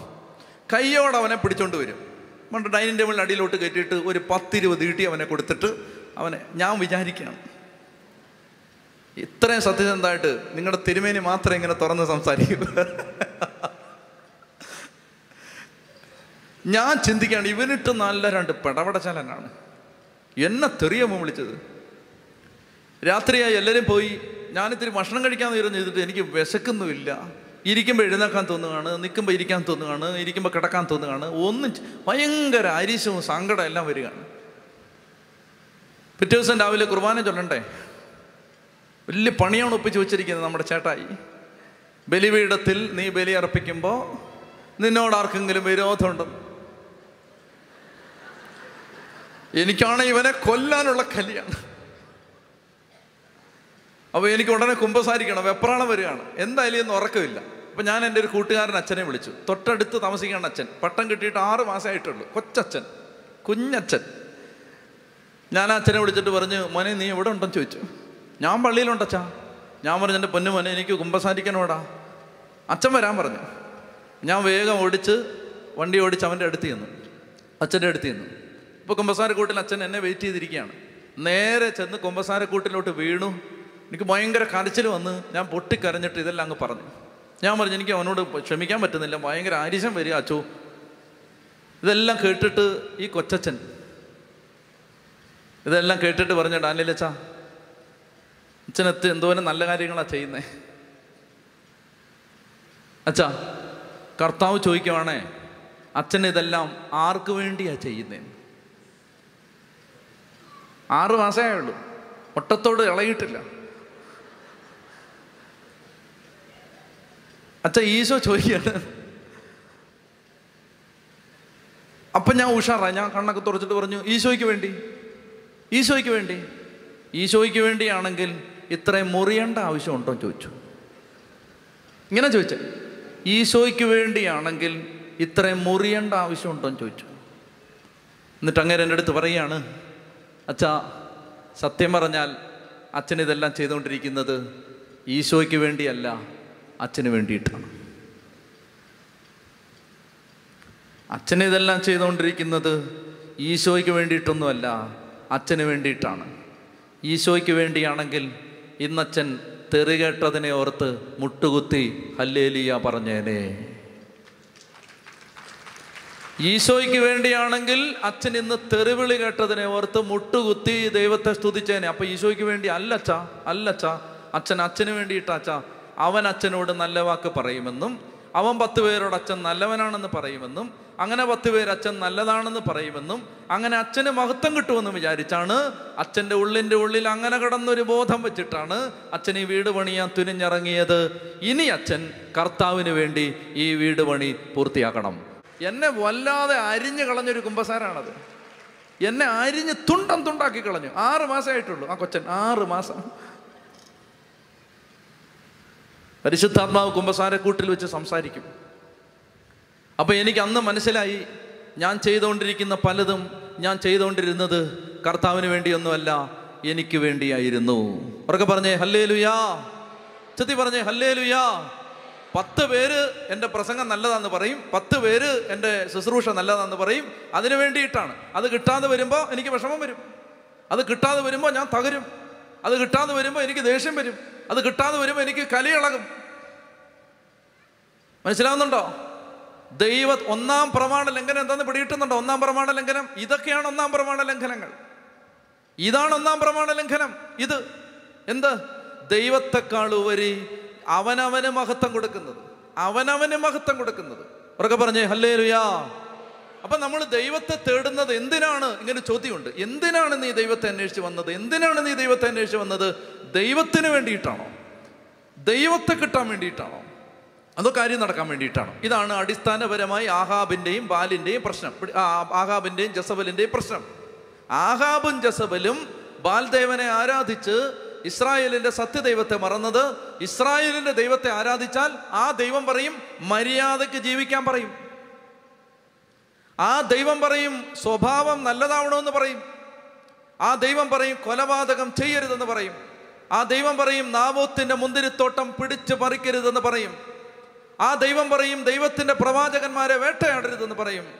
ആ ദൈവം പറയും മദ്യപിക്കരുതെന്ന് പറയും. ആ ദൈവം പറയും പുകവലിയും കൂത്താട്ടവും ഉപേക്ഷിക്കാൻ പറയും. ആ ദൈവം പറയും തെറ്റായ ബന്ധങ്ങളിൽ നിന്ന് പുറത്തു വരാൻ പറയും. ആ ദൈവം പറയും ആ വാട്സപ്പ് നമ്പർ ബ്ലോക്ക് ചെയ്യാൻ പറയും. ആ ദൈവം പറയും ആ ഫേസ്ബുക്കിലെ ചാറ്റ് ചെയ്യുന്ന പുറത്തു വരാൻ പറയും. അങ്ങനെ പറയുന്ന ഒരു ദൈവത്തെയാണോ നിനക്ക് വേണ്ടത്? കാര്യം നടത്തി തരുന്ന ഒരു ദൈവത്തെയാണോ നിനക്ക് വേണ്ടത്?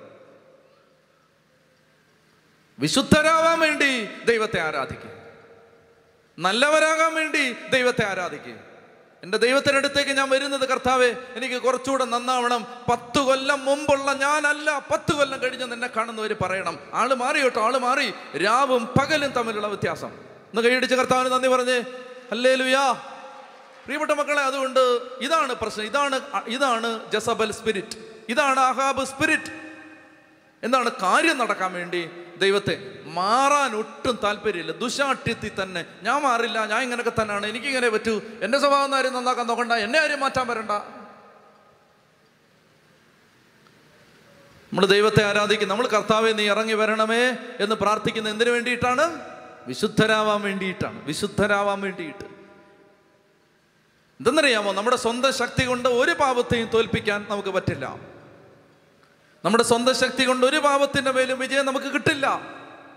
എത്ര പരിശ്രമിച്ചാലും എത്രയോ ന്യൂ ഇയറിന് എത്രയോ തീരുമാനം എടുത്തവരാണ് നമ്മൾ. നാലാമത്തെ ദിവസം ജനുവരി നാലിന് അത് തെറ്റിക്കും. നമ്മുടെ അവസ്ഥ ഏതാണ്? നമ്മുടെ സ്വന്തം ശക്തി കൊണ്ട് പാപത്തെയോ പാപസ്വാധീനങ്ങളെയോ തോൽപ്പിക്കാൻ നമുക്ക് കഴിയില്ല. അതിന് ദൈവത്തിന്റെ കൃപ ഇറങ്ങി വരണം. നിയമം മോശ വഴി നൽകപ്പെട്ടു കൃപയും സത്യവുമാകട്ടെ യേശു ക്രിസ്തു വഴി ഉണ്ടായി.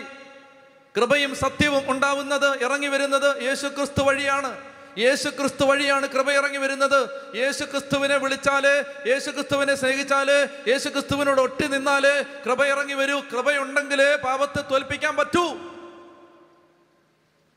കൃപ കിട്ടുന്നത് ദൈവത്തെ തേടുമ്പോഴാണ്. ദൈവത്തെ സത്യസന്ധമായിട്ട് ദൈവത്തെ തേടണം. മക്കളെ പറയണം ഊണിൽ ഉറക്കത്തിന് ആഗ്രഹിക്കണം എനിക്ക് നിന്റെ സാന്നിധ്യം വേണം നിന്റെ- നിന്റെ ശക്തി വേണം നിന്റെ സ്നേഹം വേണം നീ എന്നോട് മിണ്ടണം നീ ഇറങ്ങി വരണം എന്നോട് സംസാരിക്കണം എന്റെ വീട്ടിൽ നീ ഇറങ്ങി വരണം. ഒന്ന് ഉച്ചത്തി പറഞ്ഞേ ഹാലലുയാ ഹാലലുയാ. പ്രിയപ്പെട്ട മക്കളെ ഹൃദയം നൊന്ത് ഇത് ആഗ്രഹിക്കണം. ആഹാബും ജസബലും അവർ ദൈവത്തെ തേടിയത് അല്ലെങ്കിൽ ബാൽദേവനെ ആരാധിച്ചത് അവർ അക്ഷര പ്രതിഷ്ഠയ്ക്ക് പൂജാഗിരികൾ അർപ്പിച്ച് പൂജാഗിരികൾ നിർമ്മിച്ചതും പൂജ ചെയ്തതും എല്ലാം കാര്യം നടക്കാൻ വേണ്ടി സ്വയം ജീവിതം തിരുത്താൻ ആർക്കും താല്പര്യമില്ല. ഒരു വാക്യം വായിച്ചേ. ഒന്ന് കോറിന്തോസ് പതിനഞ്ച് പത്തൊമ്പത്. ഒന്ന് കോറിന്തോസ് പതിനഞ്ച് പത്തൊമ്പത്. ഒന്ന് കോറിന്തോസ്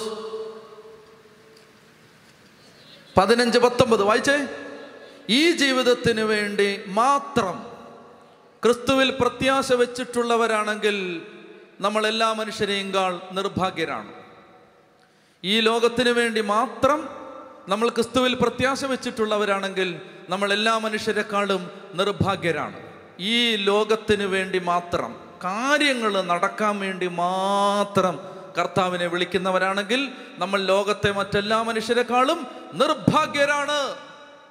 നിർഭാഗ്യരാണ്. Unlucky the most unlucky unfortunate പോലീസിനെ പറയുകയാണ് ഈ കാര്യങ്ങൾ നടക്കാൻ വേണ്ടി മാത്രം മക്കളെ പ്രാർത്ഥിക്കണം. മുട്ട നിന്ന് പ്രാർത്ഥിക്കണം കർത്താവേ എനിക്ക് വിശുദ്ധനാവണം. എനിക്ക് നല്ലവനാവണം. എനിക്ക് എന്റെ സ്വഭാവം തിരുത്തണം. എനിക്ക് മറ്റുള്ളവരെ സ്നേഹിക്കണം. എനിക്ക് കരുണ കാണിക്കണം. ദൈവമേ എനിക്ക് എല്ലാവരോടും സമാധാനത്തിൽ വർദ്ധിക്കണം എന്നെ എതിർക്കുന്നവർക്ക് വേണ്ടി പോലും പ്രാർത്ഥിക്കാൻ പറ്റണം. ശത്രുക്കളോട് ക്ഷമിക്കാൻ പറ്റണം. പ്രിയപ്പെട്ട മക്കളെ അങ്ങനെയാണെങ്കിൽ മറ്റുള്ളവർ നമ്മുടെ സൽപ്രവർത്തികൾ കണ്ട് സ്വർഗസ്ഥനായ പിതാവിനെ മഹത്വപ്പെടുത്താനായിട്ട് പറ്റൂ. അപ്പൊ ഇത് ചെയ്യാൻ തയ്യാറാവാതിരുന്ന ആഹാബും നമ്മൾ ബാക്കി തുടരുകയാണ്. ആഹാബും ജസബൽ എന്ത് ചെയ്തു? അവർ ഇങ്ങനെ ക്ഷേത്രം പണിതും ജെറീക്കോ കോട്ട പുതുക്കി പണിതും ഒക്കെ ദൈവത്തെ പ്രകോപിപ്പിച്ചുകൊണ്ടിരിക്കുന്ന സമയത്ത് ഓർക്കാപ്പുറത്ത് ഒരു മനുഷ്യൻ പ്രത്യക്ഷപ്പെടുകയാണ്. അദ്ദേഹത്തിന്റെ പേരാണ് ഏലിയ. ഗിലയാദിലെ തിഷ്ബയിൽ നിന്നുള്ള പതിനേഴാം അധ്യായം. ഒന്ന് രാജാക്കന്മാർ പതിനേഴാം അധ്യായം ഒന്നാം വാക്യം. ഗിലയാദിലെ തിഷ്ബയിൽ നിന്നുള്ള ഏലിയ പ്രവാചകൻ ആഹാബിനോട് പറഞ്ഞു ഞാൻ സേവിക്കുന്ന ഇസ്രായേലിന്റെ ദൈവമാണ്. ഞാൻ പറഞ്ഞല്ലാതെ വരും കൊല്ലങ്ങളിൽ മഴയോ മഞ്ഞോ പെയ്യില്ല. ഞാൻ ഇന്നലെ വിശദീകരിച്ചതാണ്. ഇനി നമ്മൾ അവിടുന്ന് മുന്നോട്ട് പോവാണ്. ഞാൻ പറഞ്ഞല്ലാതെ ഇങ്ങനെ ഏകാഗ്ര ഹൃദയത്തോടെ ദൈവത്തെ ഒരു വ്യക്തി സ്നേഹിക്കുമ്പോൾ ദൈവത്തിന്റെ ശക്തി ആ വ്യക്തിയിൽ വന്നു ചേരും. ഏകാഗ്ര ഹൃദയത്തോടെ ഒരു വ്യക്തി ദൈവത്തെ സ്നേഹിക്കുമ്പോൾ ദൈവത്തിന്റെ ശക്തി ആ വ്യക്തിയിൽ വന്നു ചേരും. ദൈവത്തിന്റെ ശക്തി ആ വ്യക്തിക്ക് കിട്ടും. അപ്പോൾ ആ വ്യക്തി പറയുന്നത് നടക്കും. ആ വ്യക്തി പറയുന്നത് ഭൂമിയിൽ പുറത്ത് പുറം ലോകത്ത് സംഭവിക്കും. അവർക്ക് പറഞ്ഞേ ഹല്ലേ ലുയാ ചൊത്തി പറഞ്ഞേ ഹല്ലേ ലുയാ കർത്താവ് അപ്പൊ ഇത് പറഞ്ഞിട്ട് ഇനി അടുത്തത് വളരെ ശ്രദ്ധിക്കുക. ഇത് പറഞ്ഞിട്ട് ഏലിയ അവിടുന്ന് പുറപ്പെടുകയാണ്. ആകാബിന്റെ അടുത്ത് നിന്നും കൊട്ടാരത്തിൽ നിന്നും ഇറങ്ങിപ്പോകുന്ന ഏലിയായോട് ദൈവമായ കർത്താവ് ഇപ്രകാരം പറഞ്ഞു നീ പുറപ്പെട്ട് ജോർദാന് കിഴക്കുള്ള കെറീത്ത് അരുവിക്ക് സമീപം ഒളിച്ച് താമസിക്കുക. അരുവിയിൽ നിന്ന് നിനക്ക് വെള്ളം കുടിക്കാം. ഭക്ഷണം തരുന്നതിന് കാക്കകളോട് ഞാൻ കൽപ്പിച്ചിട്ടുണ്ട്. അവൻ കർത്താവിന്റെ കൽപ്പനയനുസരിച്ച് ജോർദാന് കിഴക്കുള്ള കെറീത്ത് നീർച്ചാലിനരികെ ചെന്ന് താമസിച്ചു. കാക്കകൾ കാലത്തും വൈകിട്ടും അവൻ അപ്പവും മാംസവും കൊണ്ടുവന്ന് കൊടുത്തു. കേൾക്ക്. ഇങ്ങനെ ഏകാഗ്ര ഹൃദയത്തോടെ കേൾക്കുക. ഇങ്ങനെ ഏകാഗ്ര ഹൃദയത്തോടെ നീ ദൈവത്തെ സ്നേഹിക്കാൻ തുടങ്ങിയാൽ ഞാൻ ഒറ്റ കാര്യം നിങ്ങളോട് ആവശ്യപ്പെടുന്നുള്ളൂ. ദൈവത്തെ ഒന്ന് സ്നേഹിക്കുക. സ്നേഹിക്കാൻ പറ്റുന്നില്ലെങ്കിൽ അവനോട് പറയുക ദൈവമേ കുറച്ച് ദൈവസ്നേഹം തരാൻ പറയുക. ദൈവസ്നേഹം തരാൻ പറയുക. ദൈവമേ അവർ പ്രാർത്ഥിക്കുമ്പോൾ അവർ കണ്ട് ഞാൻ ഞാൻ ഓർത്തിട്ടുണ്ട് എന്റെ ചെറുപ്പത്തിൽ ഞാൻ ഓർത്തിട്ടുണ്ട് ഞാൻ കുട്ടി കുട്ടിക്കാലം മുതലേ എന്നെ ആരെങ്കിലുമൊക്കെ വിളിച്ച് നിർബന്ധിച്ച് പ്രാർത്ഥനയ്ക്ക് കൊണ്ടുപോകാമായിരുന്നു നമുക്ക് ദൈവം ഒരുക്കുകയാണ് ഇപ്പോഴാണ് മനസ്സിലാവുന്നേ. ആരെങ്കിലും ഒരുത്തൻ നന്നായാൽ അവൻ എന്നെ പിടിച്ച് കൊണ്ടുപോകും നന്നാക്കാൻ. കുട്ടിക്കാലം മുതലേ അങ്ങനെയായിരുന്നു. ഏതെങ്കിലും ഒരു വികാരിച്ച പള്ളി വന്നാൽ എന്നെ പിടിച്ചിട്ട് പോയി ആ ക്യാമ്പിന് ഓടാ ഈ ക്യാമ്പിന് ഓടാ എല്ലാത്തിനും പറഞ്ഞു വിടും. ഞാൻ പൈസ ഒന്നില്ലെന്ന് പറഞ്ഞാൽ പൈസ ഞാൻ തരാമെന്ന് പറഞ്ഞിട്ട് കൊണ്ടുപോകും. അങ്ങനെയായിരുന്നു. അങ്ങനെ ഞാൻ അഞ്ചാം ക്ലാസ്സിൽ പഠിക്കുന്ന സമയത്ത് ഞങ്ങളുടെ നാട്ടിൽ കള്ളിഷാപ്പി ജോലി ചെയ്തുകൊണ്ടിരുന്ന ഒരു ചേട്ടൻ ഡിവൈനിൽ പോയി ധ്യാനം കൂടി മാനസാന്തരപ്പെട്ടു. അന്നത്തെ കാലത്ത് ഡിവൈനിൽ പോയി ധ്യാനം കൂടി കരിസ്മാറ്റിക് ധ്യാനങ്ങളൊക്കെ ഇന്ന് തന്നെ ആളുകൾക്ക് പുച്ഛമാണ്. അപ്പോൾ അന്നത്തെ കാര്യം ആലോചിക്കാമോ? അയ്യോ കുറേ പന്തക്കൂസുകാരെല്ലാം ഇറങ്ങിയിട്ടുണ്ടെന്ന് പറഞ്ഞിട്ട് എല്ലാവരും കൂടി ഭയങ്കര പുച്ഛവും കളിയാക്കലും ഒക്കെ ഉള്ള സമയത്ത് എന്റെ ഒരു കുഗ്രാമമാണ് നാട്ടുമ്പുറമാണ് അവിടെ ആർക്കും ഇതൊന്നും അവർ കണ്ടിട്ടും കേട്ടിട്ടൊന്നും ഇല്ല അപ്പോൾ ഈ അല്ലേലേ അല്ലേലേ അല്ലേലേ ഒക്കെ പറഞ്ഞിട്ട് അവരെല്ലാം കൂടെ കളിയാക്കാനും പുച്ഛിക്കാനും ഒക്കെ തുടങ്ങി ആരും ഈ മനുഷ്യനെ കൂടെ കൂട്ടത്തില്ല. ആരും ഇങ്ങനെ പറഞ്ഞാൽ കേൾക്കത്തില്ല അതുകൊണ്ട് പത്ത് വയസ്സുള്ള എന്നെ പിടിച്ച് പുള്ളി അവിടെ ഇരുത്തിയിട്ട് വചനം പറയാൻ തുടങ്ങി. ഞാൻ പോവാന്ന് പറഞ്ഞാൽ എന്നെ വിടത്തില്ല. പിടിച്ചിരുത്തി വചനം പറയും. അങ്ങനെ ആ വചനം മുഴുവൻ ഞാൻ കേട്ടു. വേറെ ആരും ഇരിക്കത്തില്ല. ബാക്കി പിള്ളേരൊക്കെ പോളാ പോയി എന്ന് പറഞ്ഞിട്ട് ഇറങ്ങി ഓടും. ഞാൻ അന്നും ഇന്നും പാവമായത്. ഓക്കെ. ഞാൻ അവിടെ ഇരിക്കുകയാണ് അപ്പം ഈ സഹോദരൻ പോകുന്ന എല്ലാ പ്രാർത്ഥനയ്ക്കും എന്നെ കൊണ്ടുപോകണം. എന്നെയും കൊണ്ടുപോകണം. അവിടെ എല്ലാം ഞാൻ ചെന്നിട്ട് അവിടെ പോയി ഇരുന്ന് ഇതെല്ലാം കേൾക്കുകയാണ്. അങ്ങനെ പത്ത് വയസ്സുള്ള സമയത്ത് ഈ സഹോദരൻ എപ്പോൾ ഡിവൈനി ധ്യാനം കൂടാൻ പോയാലും എന്നെയും കൊണ്ടുപോകും. എനിക്കിഷ്ടമില്ല. പക്ഷെ എന്നെ കൊണ്ടുപോകും. ഞാൻ വിചാരിക്കുന്ന ഈ കള്ളുകുടിയന്മാരും തോന്നിയാസുകൾ കള്ളുഷാപ്പി ജോലിയുള്ളവരൊക്കെ അല്ലേ ധ്യാനം കൂടേണ്ടത്? ഞാൻ എന്തിനാണ് ധ്യാനം കൂടുന്നത് എന്നാണ് ഞാൻ എന്നാലും എന്നെ കൊണ്ടു അങ്ങനെ ചെറുപ്പം മുതൽ ഇങ്ങനെ ഈ ഒരു കാര്യത്തിൽ. പിന്നെ അദ്ദേഹം എന്ത് ചെയ്യും? അദ്ദേഹം ഈ റോഡിലൊക്കെ കിടക്കുന്ന ആളുകളെ എടുക്കുക കുളിപ്പിക്കുക ഇതൊക്കെ അപ്പോൾ ആരുമില്ല സഹായിക്കുക എന്നെ കൊണ്ടു എന്തെന്നറിയാം വെള്ളം ഒഴിച്ചു കൊടുക്കാൻ വേണ്ടി. ഞാൻ ഇങ്ങനെ വെള്ളം എടുത്ത് ഒഴിച്ചു കൊടുക്കും. ഇയാൾ കുളിപ്പിക്കും. അപ്പം ഈ ചെറുപ്പത്തിൽ ഇങ്ങനെ ധ്യാനത്തിനെല്ലാം പോകും. പോകുമ്പോഴെല്ലാം ഞാൻ ശ്രദ്ധിക്കുന്നത് മനുഷ്യർ ദൈവത്തെ വിളിക്കുമ്പോൾ ഇരുന്ന് കരയുകയാണ്. എനിക്ക് ഒരു കരച്ചിലും വരുന്നില്ല. എനിക്ക് ചിരിയാണ് വരുന്നത്. ഞാൻ ഈ ചെറുപ്പത്തിൽ ധ്യാനത്തിനൊക്കെ പോകുമ്പോൾ ആളുകളെല്ലാം ഇരുന്ന് കരയുന്നു. ഞാൻ കണ്ടിട്ടുണ്ട് എന്റെ അമ്മ ഇരുന്ന് പ്രാർത്ഥിക്കുമ്പോൾ ചുമ്മാ ഇരുന്ന് കരയുക. ചേട്ടന്മാരൊക്കെ ഇതുപോലെ ധ്യാനം കൂടി വരുന്നവരൊക്കെ ദൈവത്തെ സ്തുതിക്കുമ്പോൾ ഇരുന്ന് കരയുക. എനിക്ക് ഒരു കരച്ചിലില്ലെന്ന് മാത്രമല്ല എനിക്ക് നല്ല ചിരി വരികയാണ്. അപ്പോൾ ആ കാലഘട്ടങ്ങളിൽ പിന്നീട് വളർന്നു വരുമ്പോഴും ഒരു പത്തിലൊക്കെ ആയി പിന്നെ സെമിനാരിലൊക്കെ ചേർന്നു. ആ സമയത്തൊക്കെ പ്രാർത്ഥിക്കുമ്പോഴൊന്നും എനിക്ക് ഒരു ഫീലിങ്ങും ഇല്ല. ഒരു ഫീലിങ്ങും ഇല്ല. ഞാൻ ഇതെല്ലാം കൂടിയിട്ടൊക്കെ ഉണ്ട് പക്ഷെ എനിക്ക് ഒരു ഫീലിങ്ങും ഇല്ല. അന്നൊക്കെ ഞാൻ ചിന്തിക്കും ദൈവമേ പ്രാർത്ഥിക്കുമ്പോൾ അതെ ആ ചേട്ടന്റെ കണ്ണ് നിറയുന്നു ഈ ചേച്ചിയുടെ കണ്ണ് നിറയുന്നു ആ കൊച്ചു എങ്ങലടിച്ച് കരയുന്നു. ഞങ്ങളുടെ കൊച്ചു കുട്ടികളൊക്കെ ഈശോ ഈശോ എന്ന് വിളിച്ച് പൊട്ടി പൊട്ടി കരയും. കരയുന്നു എന്റെ അമ്മ ഇരുന്ന് കരയുന്നു. കർത്താവ് ഇതിനകത്ത് എന്തെങ്കിലും ഒരു സംഭവം ഉണ്ടെങ്കിൽ ശരിക്കും ഇങ്ങനെ ആ മനുഷ്യർക്ക് ദൈവമേ എന്ന് വിളിക്കുമ്പോൾ കണ്ണ് നിറയുമെങ്കിൽ കർത്താവ് എനിക്ക് ഒരു ഫീലിങ്ങും ഇല്ല എനിക്കൂടെ തരണേ എന്ന് ഞാൻ ചോദിക്കുമായിരുന്നു. അത് പറയാൻ എത്രയും പറഞ്ഞേ. ഞാൻ ചോദി സത്യസന്ധമായിട്ട് ഞാൻ കാരണം എനിക്ക് ഒരു ഫീലിംഗും ഇല്ല. ഞാൻ ഇങ്ങനെ ചുമ്മാ വരണ്ട് നിൽക്കും എല്ലാവരും പ്രാർത്ഥിക്കും ഞാൻ ചുമ്മാ നിൽക്കും പക്ഷെ അന്നൊക്കെ ഞാൻ ഉള്ളിൽ തട്ടി ഇങ്ങനെ പ്രാർത്ഥിച്ചിട്ടുണ്ട് എന്റെ കർത്താവ് എനിക്ക് അങ്ങനെ എന്തെങ്കിലും ഇത് ഇവരൊക്കെ ഇവരൊക്കെ എന്ത് രസമായിട്ടാണ് പ്രാർത്ഥിക്കുന്നത് ആ ചേച്ചി എന്നാ ഭംഗിയായിട്ടാണ് പ്രാർത്ഥിക്കുന്നത്? പ്രാർത്ഥിക്കുമ്പോൾ ആ ചേച്ചി കരയുകയാണ്. മാത്രമല്ല ചെറിയ പ്രയർ കുടുംബ യൂണിറ്റുകൾക്ക് പ്രാർത്ഥനാ യൂണിറ്റുകൾക്ക് കുടുംബ പ്രാർത്ഥനകൾക്ക് പോകുമ്പോൾ ഞാൻ കണ്ടിട്ടുണ്ട് എന്റെ വീടിന്റെ തൊട്ടടുത്ത വീട്ടിലെ അമ്മച്ചിയൊക്കെ പ്രാർത്ഥന അങ്ങോട്ട് തുടങ്ങിയാൽ ഓ എന്നാ രസമാണ് ആ പ്രാർത്ഥന. അപ്പൊ ചില മനുഷ്യർ പ്രാർത്ഥിക്കാൻ തുടങ്ങുമ്പോൾ അന്ന് ഈ അഭിഷേകം ദൈവ സാന്നിധ്യം അതൊന്നും അറിയാൻ പാടില്ലല്ലോ. പക്ഷെ എന്തോ ഒരു വ്യത്യാസമുണ്ട് അതറിയാം. ഞാൻ പ്രാർത്ഥിക്കുന്ന പോലല്ല. എന്തോ ഒരു വ്യത്യാസമുണ്ട്. ഒരാൾ വരുമ്പോൾ തന്നെ അന്തരീക്ഷം മാറുന്നുണ്ട്. അതറിയാം. പക്ഷെ എന്നാന്നൊന്നും അറിയാൻ പാടില്ല. ഞാൻ പ്രാർത്ഥിച്ചിട്ടുണ്ട് ദൈവമേ അങ്ങനെ എന്തെങ്കിലും ഉണ്ടെങ്കിൽ എനിക്കൂടെ തരണേ. എനിക്കൂടെ തരണേ. ഒരുപാട് ഞാൻ പ്രാർത്ഥിച്ചിട്ടുണ്ട് അതിനുവേണ്ടി എന്തിനാ ഞാൻ പറയുന്നതെന്നറിയാമോ? ഇന്ന് കർത്താവ് എന്ന് വിളിക്കുമ്പോൾ കണ്ണ് നിറയാതെ അത് അവസാനിപ്പിക്കാൻ പറ്റാത്ത വിധത്തിൽ ഒരു ദൈവസ്നേഹം ദൈവം തന്നെങ്കിൽ അത് നമ്മൾ ആഗ്രഹിച്ചത് കൊണ്ടാണ് അതിനുവേണ്ടി തലകുത്തി പറഞ്ഞിട്ടൊന്നുമില്ല. ആഗ്രഹിച്ചു നന്നായിട്ട് ആഗ്രഹിച്ചു. ഞാൻ പറയുന്നത് ദൈവസ്നേഹം കിട്ടാൻ ഒന്ന് ആഗ്രഹിക്കുക ദൈവത്തെ ഒന്ന് സ്നേഹിക്കാൻ ഒരു കൃപ തുറന്നു കിട്ടാൻ വേണ്ടി ഒന്ന് ആഗ്രഹിക്കുക എന്തോ ഒരു ജീവിതം എന്നറിയാം അത്? That is an amazing life indescribable വിവരണാതീതം വിവരണാതീതം. വാക്കുകൾക്കോ വാങ്മയ ചിത്രങ്ങൾക്കോ വരച്ചിടാനാവാത്ത ആനന്ദ നിസ്തുലത. വലിയ ആനന്ദം. ദൈവത്തിന് തരാൻ പറ്റുന്ന ഒരു ആനന്ദം. ധാന്യത്തിലും വീഞ്ഞിലും ധാന്യവും വീഞ്ഞും വർദ്ധിച്ച കാലത്ത് അവർക്കുണ്ടായതിലേറെ ആനന്ദം അങ്ങന്റെ ഹൃദയത്തിൽ തന്നു എന്ന് സങ്കീർത്തനം നാലാം അധ്യായം ഏഴാം വാക്യത്തിലുണ്ട്.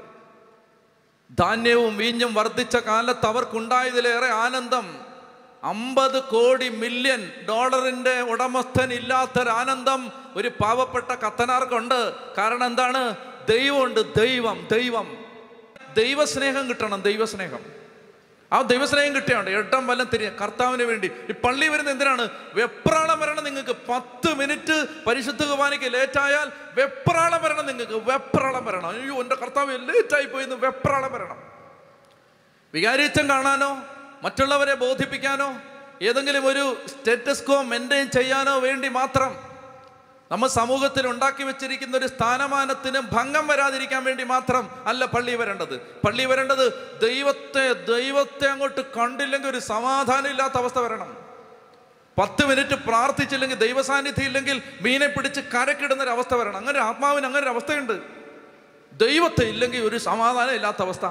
അങ്ങനെ ദൈവത്തെ സ്നേഹിക്കണം. അങ്ങനെ ദൈവത്തെ സ്നേഹിച്ച് വിശുദ്ധിക്ക് വേണ്ടി പ്രാർത്ഥിക്കണം. ഒന്ന് കൈയടിച്ച് കർത്താവിന് നന്ദി പറഞ്ഞേ ശക്തമായിട്ട് കരങ്ങൾ കടിച്ച് നന്നായിട്ട് കരം കടിച്ചു അല്ലേ ലുയ്യ അപ്പൊ അതുകൊണ്ട് അപ്രകാരം ഒരു അഭിഷേകത്തിന് വേണ്ടി ആഗ്രഹിക്കണം. ഏലിയായിക്ക് അങ്ങനെയാണ്. എന്നിട്ട് ഇനി ഒരു ഒരു പത്ത് മിനിറ്റ് കഴിയുമ്പോൾ പിന്നീട് നമ്മൾ വായിക്കും. ഈ മനുഷ്യനോട് ദൈവം വന്നിട്ട് ചോദിക്കും വായിച്ചേ പത്തൊമ്പതാമത്തെ അധ്യായം പത്തൊമ്പതാമത്തെ അധ്യായം പത്തൊമ്പതാമത്തെ അധ്യായം ഒന്ന് മുതൽ വായിച്ചേ. ഏലിയ ചെയ്ത എല്ലാ കാര്യങ്ങളും പ്രവാചകന്മാരെ വാളിനിരയാക്കിയ വിവരവും ആഹാബ് ജസബലിനോട് പറഞ്ഞു. അപ്പോൾ അവൾ ദൂതനെ അയച്ച ഏലിയായോട് പറഞ്ഞു നാളെ ഈ നേരത്തിന് മുമ്പ് നിന്റെ ജീവൻ ആ പ്രവാചകന്മാരിൽ ഒരുവന്റേതുപോലെ ആക്കുന്നില്ലെങ്കിൽ ദേവന്മാർ അതും അതിലപ്പുറവും എന്നോട് ചെയ്യട്ടെ. എലിയ ഭയപ്പെട്ട് ജീവരക്ഷാർത്ഥം പലായനം ചെയ്തു. അവൻ യൂതയായിലെ ബർഷേബായിലെത്തി അവിടെ വെച്ച് വൃത്തിനെ വിട്ടു പിരിഞ്ഞു. അവിടെ നിന്ന് അവൻ തനിയെ മരുഭൂമിയിലൂടെ ഒരു ദിവസത്തെ വഴി നടന്ന് ഒരു വാടാമുൾച്ചെടിയുടെ തണലിലിരുന്നു. അവൻ മരണത്തിനായി പ്രാർത്ഥിച്ചു കർത്താവെ മതിയായി. എന്റെ പ്രാണനെ സ്വീകരിച്ചാലും ഞാൻ എന്റെ പിതാക്കന്മാരെക്കാൾ മെച്ചമല്ല. അവൻ ആ ചെടിയുടെ തണലിൽ കിടന്നുറങ്ങി. കർത്താവിന്റെ ദൂതൻ അവനെ തട്ടി ഉണർത്തി എഴുന്നേറ്റ് ഭക്ഷിക്കുക എന്ന് പറഞ്ഞു. എഴുന്നേറ്റ് നോക്കിയപ്പോൾ ചുടുകല്ലിൽ ചുട്ടെടുത്ത അപ്പവും ഒരു പാത്രം വെള്ളവും ഇതാ തലക്കരിയിരിക്കുന്നു അത് കഴിച്ചവൻ വീണ്ടും കിടന്നു. കർത്താവിന്റെ ദൂതൻ വീണ്ടും അവനെ തട്ടി ഉണർത്തി പറഞ്ഞു എഴുന്നേറ്റ് ഭക്ഷിക്കുക അല്ലെങ്കിൽ യാത്ര ദുഷ്കരമായി തീരും. അവൻ എഴുന്നേറ്റ് ഭക്ഷണപാനീയങ്ങൾ കഴിച്ചു. അതിന്റെ ശക്തി കൊണ്ട് നാൽപ്പത് രാവും നാൽപ്പത് പകലും നടന്ന് കർത്താവിന്റെ മലയായ ഹോറവിലെത്തി അവിടെ അവൻ ഒരു ഗുഹയിൽ താമസിച്ചു. അവിടെ വെച്ച് കേൾക്കുക അവിടെ വെച്ച് കർത്താവിന്റെ സ്വരം അവൻ കേട്ടു. ഏലിയ നീ ഇവിടെ എന്ത് ചെയ്യുന്നു? ചോദ്യം ഏലിയ നീ ഇവിടെ എന്ത് ചെയ്യുന്നു? ജസബൽ കൊല്ലുമെന്ന് പറഞ്ഞ് നാളെ സൂര്യാസ്തമയത്തിന് മുമ്പ് പ്രവാചകന്മാരുടെ തല കൊയ്തെടുത്ത നിന്നെ നാളെ സൂര്യാസ്തമയത്തിന് മുമ്പ് ഗളച്ഛേദം ചെയ്ത് നിന്നെ ഞാൻ കൊന്നിരിക്കുമെന്ന് ഉഗ്രപ്രതിജ്ഞ ഭീഷ്മ ശപഥമെടുത്ത് കൊല്ലാൻ കാത്തിരിക്കുന്ന ജസബലിന്റെ വാൾമുനത്തുമ്പിൽ നിന്ന് ഓടി രക്ഷപ്പെട്ട് മരുഭൂമിയിലൂടെ നാൽപ്പത് ദിവസം യാത്ര ചെയ്ത് ഹോറബിലെ മലയിലെത്തി ഒരു ഗുഹയിലിരിക്കുന്ന സമയത്ത് പേടിച്ച് പ്രാണൻ കയ്യിൽ പിടിച്ചിരിക്കുന്ന സമയത്ത് ദൈവം ചോദിക്കുകയാണ് ദൈവം ചോദിക്കുകയാണ് ഏലിയ നീ ഇവിടെ എന്തു ചെയ്യുന്നു? എന്താ പറഞ്ഞെന്നറിയാം പറ. സൈന്യങ്ങളുടെ ദൈവമായ കർത്താവിനെ പ്രതിയുള്ള തീഷ്ണത കൊണ്ട് ഞാൻ ജ്വലിക്കുകയാണ്. സൈന്യങ്ങളുടെ ദൈവമായ കർത്താവിനെ ചൊല്ലിയുള്ള തീഷ്ണത കൊണ്ട് ഞാൻ ജ്വലിക്കുകയാണ്. I'm burning inside I'm burning inside burning ദൈവസ്നേഹത്തിന്റെ തീ പ്രവാചകന്റെ ചങ്കിനകത്ത് ജസബലിന്റെ വാൾമുനയ്ക്ക് കെടുത്താനാവാത്ത വിധത്തിൽ ബേണിംഗ് ഇൻസൈഡ് ബേണിംഗ് ക്രിസ്ത്യാനിയുടെ ചങ്കിനകത്ത് എരിഞ്ഞു കത്തേണ്ടത് ഈ തീയാണ് ഈ തീ ഈ തീ ദൈവസ്നേഹത്തിന്റെ തീ. കാര്യസാധ്യത്തിന് വേണ്ടി ദൈവത്തെ തേടുന്നവരല്ല. ഇങ്ങനെ എല്ലാം മറന്ന് എല്ലാം മറന്ന് കൂടും കുടുംബവും കുലവും പേരും പെരുമയും പ്രശസ്തിയും മറന്ന് ദൈവത്തെ ഉള്ളിൽ തട്ടി സ്നേഹിക്കുന്ന ഒരു പത്തണമുണ്ടെങ്കിൽ മദ്രാസ് നഗരത്തിന് ദൈവസ്നേഹത്തിന്റെ തീ പിടിക്കും. പക്ഷെ ഇല്ല. ഭാഗ്യമോ ഭാഗ്യക്കേടോ ഇല്ല. അങ്ങനെ ഇല്ല. എല്ലാവർക്കും അവരവരുടെ കാര്യം. എങ്ങനെയെങ്കിലും തട്ടിമുട്ടി ജീവിച്ചാൽ മതി. എങ്ങനെയെങ്കിലും എന്റെ കാര്യം നടന്നാൽ മതി. സൈന്യങ്ങളുടെ കർത്താവിനെ കുറിച്ചുള്ള തീഷ്ണത കൊണ്ട് ഞാൻ ജ്വലിക്കുകയാണ് ജ്വലിക്കുകയാണ് അങ്ങനെ ജ്വലിക്കുന്ന ഒരു പത്തണം ഉണ്ടെങ്കിൽ നിങ്ങൾക്ക് ഭാരതത്തെ സുവിശേഷവൽക്കരിക്കാം. ചെത്തി പറഞ്ഞേ ഹല്ലേ ലുയാ ഹല്ലേ ലുയാ എന്റെ പ്രിയപ്പെട്ട മക്കളെ ഇതായിരുന്നു ഈ മനുഷ്യൻ. ദൈവസ്നേഹം നിറഞ്ഞൊരു മനുഷ്യൻ. ദൈവസ്നേഹം നിറഞ്ഞൊരു മനുഷ്യൻ. ആഗ്രഹിക്കുക കർത്താവേ അങ്ങനെ ഒരു സ്നേഹം എന്റെ ഉള്ളിത്താ ഇന്നുണ്ട് സ്നേഹം താ? ഈശോ എന്ന് പറയുമ്പോൾ ചങ്ക് പൊട്ടുന്നൊരു സ്നേഹം താ. ഈശോയ്ക്ക് വേണ്ടി മടുക്കാതെ ഓടാൻ ഒരു സ്നേഹം താ. ഈശോയ്ക്ക് വേണ്ടി തളരാതെ അധ്വാനിക്കാൻ ഒരു സ്നേഹം താ. മറ്റൊന്നും മറ്റാരെയും മറ്റൊന്നും കാണാതെ നിന്നെ മാത്രം കാണാൻ നിന്നെ മാത്രം കാണാൻ ഒരു ഹൃദയം താ. അപ്പൊ അങ്ങനെയുള്ള ഒരുത്തൻ കേട്ടെ? അങ്ങനെയുള്ള ഒരുത്തന്റെ ഒരു ഭൗതിക കാര്യത്തിനു വേണ്ടി അവൻ പ്രാർത്ഥിക്കേണ്ടതില്ല. സകലതും ഏറ്റെടുത്ത് നടത്തേണ്ടത് അവൻ ആർക്കു വേണ്ടി ഓടുന്നോ? ആ ദൈവത്തിന്റെ ബാധ്യതയാണ്. ബാധ്യതയാണ്. That is his liability his liability നിങ്ങൾക്കറിയോ അവൻ ഒരു ഭൗതിക കാര്യത്തിന് വേണ്ടി പ്രാർത്ഥിക്കേണ്ട ആവശ്യമില്ല. ഒരു എക്സാം ജയിക്കാനും അവൻ പ്രാർത്ഥിക്കേണ്ട കാര്യമില്ല. അവൻ ജയിച്ചിരിക്കും. ഒന്ന് കൈയടിച്ച് കർത്താവിന് നന്ദി പറഞ്ഞേ. അവൻ ജയിച്ചിരിക്കുക അവൻ ഒരു പരീക്ഷയ്ക്കും ജയിക്കാൻ പ്രാർത്ഥിക്കേണ്ട ആവശ്യമില്ല. അവൻ ജയിച്ചിരിക്കുക അവനെ ജയിപ്പിക്കുന്നത് ദൈവമാണ്. കാരണം പിന്നെ ദൈവത്തിന്റെ ലയബിലിറ്റിയാണത്. തന്നെ ഉച്ച മുതൽ ഉള്ളംകാർ വരെ മറന്ന് സ്നേഹിക്കുന്ന ഒരുത്തിന് വേണ്ടി അധ്വാനിക്കേണ്ടത് പിന്നെ ദൈവത്തിന്റെ ജോലിയാണ്. അപ്പോൾ ഭൂമിയിൽ മഴയില്ല. മഴയില്ല. മഴയില്ലാതെ വരുന്ന അവസ്ഥയിൽ ഈ പ്രവാചകൻ പട്ടിണി കിടക്കരുതെന്ന് ദൈവത്തിന് നിർബന്ധമുണ്ട്. ദൈവം പറഞ്ഞു കൊച്ചേ കെറി തരുവിയുടെ തീരത്ത് പോടാന്ന് പറഞ്ഞു. അവിടെ എന്തിനാ വന്നേ? അവിടെ വെള്ളമുള്ളൂ അവിടെ വെള്ളം ഉണ്ടാവൂ. മൂന്ന് മാസത്തേക്ക് അവിടെ പോയി താമസിച്ചോ? അപ്പോൾ ഭക്ഷണം? കാക്കകൾ കൊണ്ടുവന്ന് തരുമെന്ന് പറഞ്ഞു. കാക്കകൾ കൊണ്ടുവന്ന് തരും. നീ ചുമ്മാ പോയി അവിടെ ഇരിക്ക്. നിനക്കുള്ളത് അങ്ങോട്ട് വരും അങ്ങോട്ട് വരും. ലിറ്ററലി ഇത് സംഭവിക്കും. ലിറ്ററലി പോയി കൈ നീട്ടണ്ട. നിനക്കുള്ളത് അവിടെ എത്തും അവിടെ എത്തും. മേശപ്പുറത്ത് വിളമ്പി വെച്ചിട്ട് നിന്നോട് പറയും എഴുന്നേറ്റ് ഭക്ഷിച്ചിട്ട് പൊക്കോ. അങ്ങൊരു ദൈവമുണ്ട് എന്റെ മക്കളെ അങ്ങൊരു ദൈവമുണ്ട് അങ്ങൊരു ദൈവമുണ്ട് അങ്ങൊരു ദൈവമുണ്ട് അങ്ങൊരു ദൈവമുണ്ട് അങ്ങൊരു ദൈവമുണ്ട് അങ്ങൊരു ദൈവമുണ്ട്. അല്ലേ ലുയാ അപ്പോൾ ഇയാൾ പോയി അവിടെ താമസിച്ചു. താമസിച്ച സമയത്ത് സമയാസമയത്ത് കാലത്തും വൈകിട്ടും കാക്കകൾ വരാൻ തുടങ്ങി. അങ്ങനെ കാക്കകൾ വരാൻ തുടങ്ങിയപ്പോൾ മൂന്ന് മാസം കഴിഞ്ഞപ്പോൾ എന്ത് സംഭവിച്ചു? കെറീത്ത് അരുവിയിലെ വെള്ളം വറ്റി. കാക്കകൾ വരാതായി. ഏ അയ്യോ ഇത്ര നേരം പറഞ്ഞ എല്ലാം ക്യാൻസൽ ആയിപ്പോയി. ഇല്ല ക്യാൻസൽ ആയിട്ടില്ല കേട്ടെ? വെള്ളം വറ്റി കാക്കകൾ വരാതായി. വെള്ളം വറ്റി കാക്കകൾ വരാതായി. കാരണം എന്തെന്നറിയാമോ? ഈ കെറീത്ത് അരുവിയിലെ വെള്ളത്തിന്റെ അടുത്ത് വന്ന് ഏലിയ പ്രവാചകൻ കുറേ സമയം വെള്ളത്തെ നോക്കിക്കൊണ്ടിരിക്കും. വെള്ളത്തോട് ഭയങ്കര സ്നേഹം. വെള്ളം എടുത്ത് ഇങ്ങനെ മുഖം കഴുകുന്നു വെള്ളം എടുത്ത് കൈ കഴുകുന്നു വെള്ളം എടുത്ത് ഇങ്ങനെ ഇങ്ങനെ ആക്കുന്നു.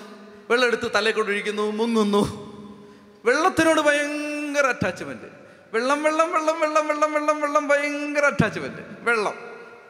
പിന്നെ വൈകുന്നേരം ആയപ്പോൾ കാക്കകൾ വരും. കാക്കയ്ക്ക് പേരിട്ടു. സുരേഷും ജയന്തിയും. രണ്ട് കാക്കകൾ വരും. സുരേഷിനോടും ജയന്തിയോടും ഭയങ്കര സ്നേഹം. സുരേഷ് വരാൻ വൈകിയാൽ വിഷമം ജയന്തി വരാൻ വൈകിയാൽ വിഷമം വലിയ വിഷമം. കാക്കകളോട് ഭയങ്കര അറ്റാച്ച്മെന്റ് മനസ്സിലായി? ഇത്രയും കാലം ആരോടായിരുന്നു അറ്റാച്ച്മെന്റ് കർത്താവിനോട്. കർത്താവിനോട്. ഏട്ടം വല്ലം തിരിയാതെ കർത്താവിനെ സ്നേഹിച്ചുകൊണ്ടിരുന്നവനാണ് സുരേഷിനോടും ജയന്തിയോടും താല്പര്യം. വെള്ളത്തിനോട് ഭയങ്കര അറ്റാച്ച്മെന്റ് വെള്ളം വറ്റി കാക്കകൾ വരാതെയായി. ഒന്ന് കൈയടിച്ച് കർത്താവിന് നന്ദി പറഞ്ഞ്. വെള്ളം വറ്റി കാക്കകൾ വരാതെയായി.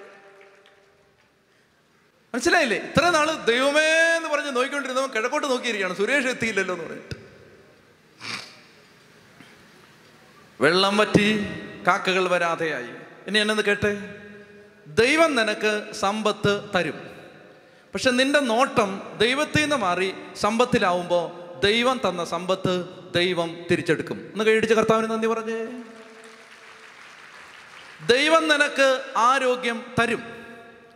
ദൈവം തന്ന ആരോഗ്യത്തെ മറന്ന് നീ ദൈവത്തെ നോക്കുന്നതിന് പകരം ആരോഗ്യത്തെ ഇരുപത്തിനാല് മണിക്കൂറും സൗന്ദര്യത്തെ ഇങ്ങനെ വർദ്ധിപ്പിക്കാൻ ശ്രമിച്ചുകൊണ്ടിരിക്കുമ്പോൾ ദൈവം ആ ശരീരത്തിൽ ഒരു കൈ വെക്കും.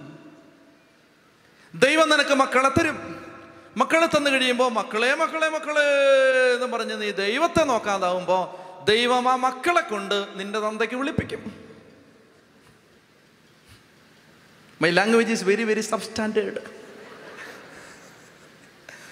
പല കൺവെൻഷന് കല്ലറങ്ങാട്ട് പിതാവ് പറഞ്ഞത് അടുക്കള ഭാഷ ഉപയോഗിക്കണമെന്നാണ്. അത് ഞാൻ പൂർണമായി അനുസരിക്കുന്നു. എന്നുവച്ചതി പറഞ്ഞേ ഹല്ലേ ലുയാ പ്രിയപ്പെട്ട മക്കളെ അതായത് ദൈവത്തിൽ നിന്നുള്ള നോട്ടം മാറരുത് എന്നാണ് ഞാൻ പറയുന്നത്. ദൈവത്തെ മാത്രമേ നോക്കാവൂ.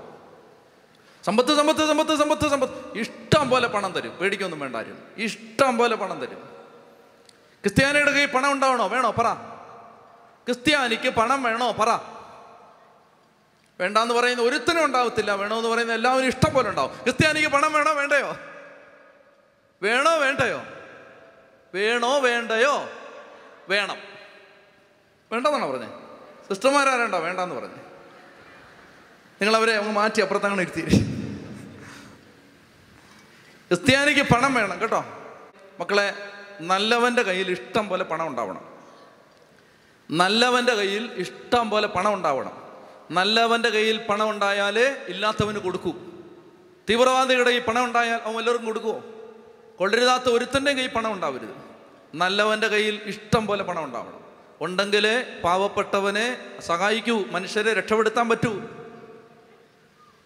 അതുകൊണ്ടൊരു വാക്യം പറഞ്ഞുതരാം. നിങ്ങളെല്ലാം സമ്പന്നരാവട്ടെ. അതാണ് എന്റെ ആഗ്രഹം. ചെന്നൈയിൽ ആരും ദാരിദ്ര്യത്തിൽ കിടക്കരുത്. ആര് കിടക്കരുത്. ഒരു വാക്യം പറഞ്ഞുതരാം. രണ്ട് കോറിന്തോസ് ഒൻപതാം അധ്യായം എട്ടാം വാക്യം.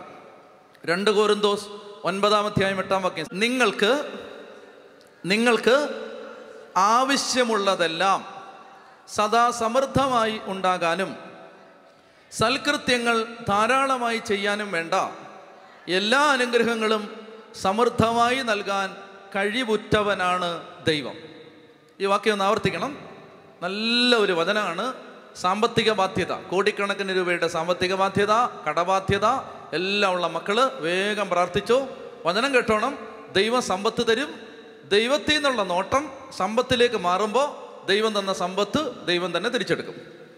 ദൈവത്തിൽ നിന്നുള്ള നോട്ടം എങ്ങോട്ട് മാറിയാലും അതിന്റെ മേൽ തകർച്ച വരും. കേട്ടോണം.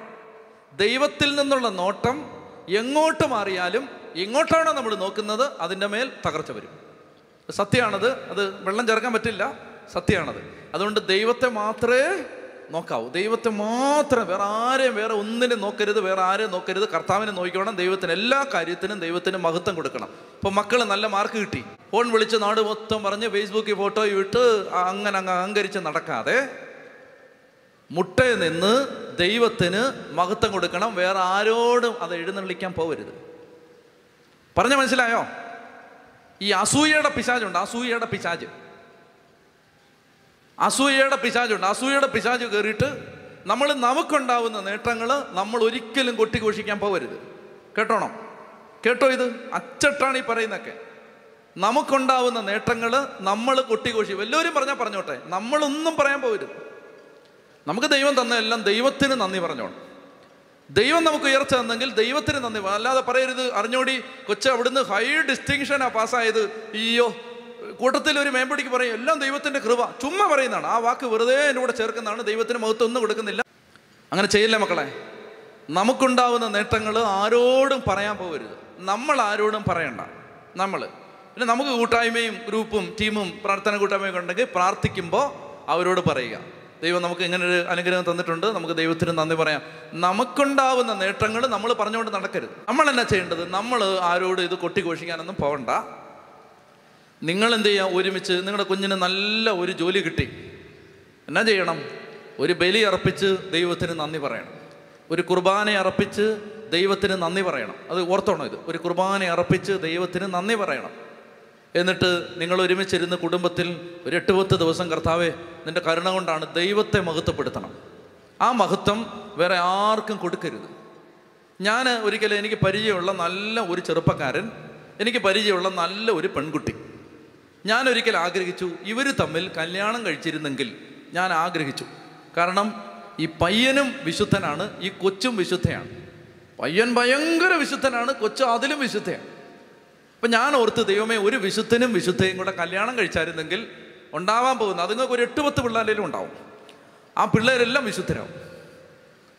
അപ്പം ഞാൻ അതുകൊണ്ട് ആഗ്രഹിച്ചു ദൈവമേ ഈ കല്യാണം ഒന്ന് നടന്നിരുന്നെങ്കിൽ. എന്നിട്ട് ഞാൻ ഇവനോട് ഇവളോട് പറഞ്ഞു ഇത് ഇങ്ങനെ ഒരു പയ്യനുണ്ട് ഞാൻ ബ്രോക്കറൊന്നും ആവത്തില്ല നാളെ നിങ്ങൾ എന്നെ തന്തയ്ക്ക് വിളിക്കാൻ പറ്റരുത് എനിക്ക് ഇത് ഇങ്ങനെ ഒരു ചെറുക്കനെ അറിയാം എനിക്ക് ഇങ്ങനെ ഒരു പെണ്ണിനെ അറിയാം. രണ്ടുപേരെയും ഞാൻ കൂട്ടിമുട്ടിച്ചു കൊടുത്തു. ദൈവകൃപയാൽ ആ കല്യാണം നടത്തും കേൾക്കണം. കല്യാണം നടക്കുന്നതിന് മുമ്പ് ആ കല്യാണം നടക്കാൻ കുറേ അധികം തടസ്സങ്ങൾ നേരിട്ടു. കുറേ അധികം കാലതാമസവും നേരിട്ടു. ഇടയ്ക്ക് ഞാൻ തന്നെ ആലോചിച്ചു ദൈവമേ ഈ വയ്യാവേലി പോയി ചാടണ്ടായിരുന്നെന്ന് ഓർത്തു. ഞാൻ തന്നെ ഓർത്തു. കാരണം അത് എനിക്ക് ആക്ഷേപമൊന്നും ഉണ്ടായില്ല പക്ഷേ ഇതിങ്ങനെ നീണ്ടു നീണ്ടു നീണ്ടു പോവാണ്. ആ സമയത്ത് ഈ പെൺകുട്ടി എന്നെ വിളിച്ചിട്ട് ഒരിക്കൽ പറഞ്ഞു അച്ഛാ ഈ കല്യാണം നടക്കണമെന്ന് ഞാൻ ഒത്തിരി ആഗ്രഹിക്കുന്നുണ്ട് അവനും ആഗ്രഹിക്കുന്നുണ്ട്. കാരണം കർത്താവ് ഞങ്ങൾക്ക് പരസ്പരം ഞങ്ങൾക്ക് ഒരുക്കിയാന്ന് ഞങ്ങൾക്ക് നല്ല ബോധ്യമുണ്ട്. പക്ഷേ ചില സങ്കീർണമായ പ്രശ്നങ്ങൾ ഇടയ്ക്കുണ്ട്. അതുകൊണ്ട് ഇത് എങ്ങനെയാണെന്നറിയില്ല അച്ഛാ ഈ കല്യാണം നടക്കണമെന്നാണ് എന്റെ ആഗ്രഹം. പക്ഷേ ഈ കല്യാണം നടന്നാൽ ഈ കല്യാണം നടന്നാൽ ഒരിക്കലും ഞാൻ പറയില്ല. ഡാനിയലച്ഛൻ ഉള്ളത് കൊണ്ടാണ് ഇത് നടന്നതെന്ന് ഞാൻ പറയില്ല. അങ്ങനെ ഞാൻ പറഞ്ഞാൽ അതെന്റെ ദൈവത്തിന് ഞാൻ കൊടുക്കുന്ന മഹത്വം കൊടുക്കാതിരിക്കലായിരിക്കും. ഇത് നടന്നാൽ അതെന്റെ കർത്താവിന്റെ കൃപ കൊണ്ട് മാത്രം നടന്നതാന്നേ ഞാൻ പറയൂ. ഞാൻ അവനെ വിളിച്ചിട്ട് പറഞ്ഞു മുട്ടേ നിന്ന് കൈവിരിച്ചോ ഇതുപോലൊരുത്തിയാണ് കിട്ടിയാൽ ലോട്ടറിയാണ് കിട്ടിയാൽ. മുട്ടേ നിന്ന് കൈവിരിച്ചോ ഇവൾ ഇതാണ് എന്നോട് പറഞ്ഞത്. മനസ്സിലായോ? ഒക്കെയാണ് ഇങ്ങനെയൊക്കെ ബോധമുള്ള പിള്ളേരുണ്ട്. അല്ലെ അവർ പറയണ്ടോ അനിലച്ചൻ ഒറ്റ ഒരാൾ ഉള്ളതുകൊണ്ടാണ് ഞങ്ങളുടെ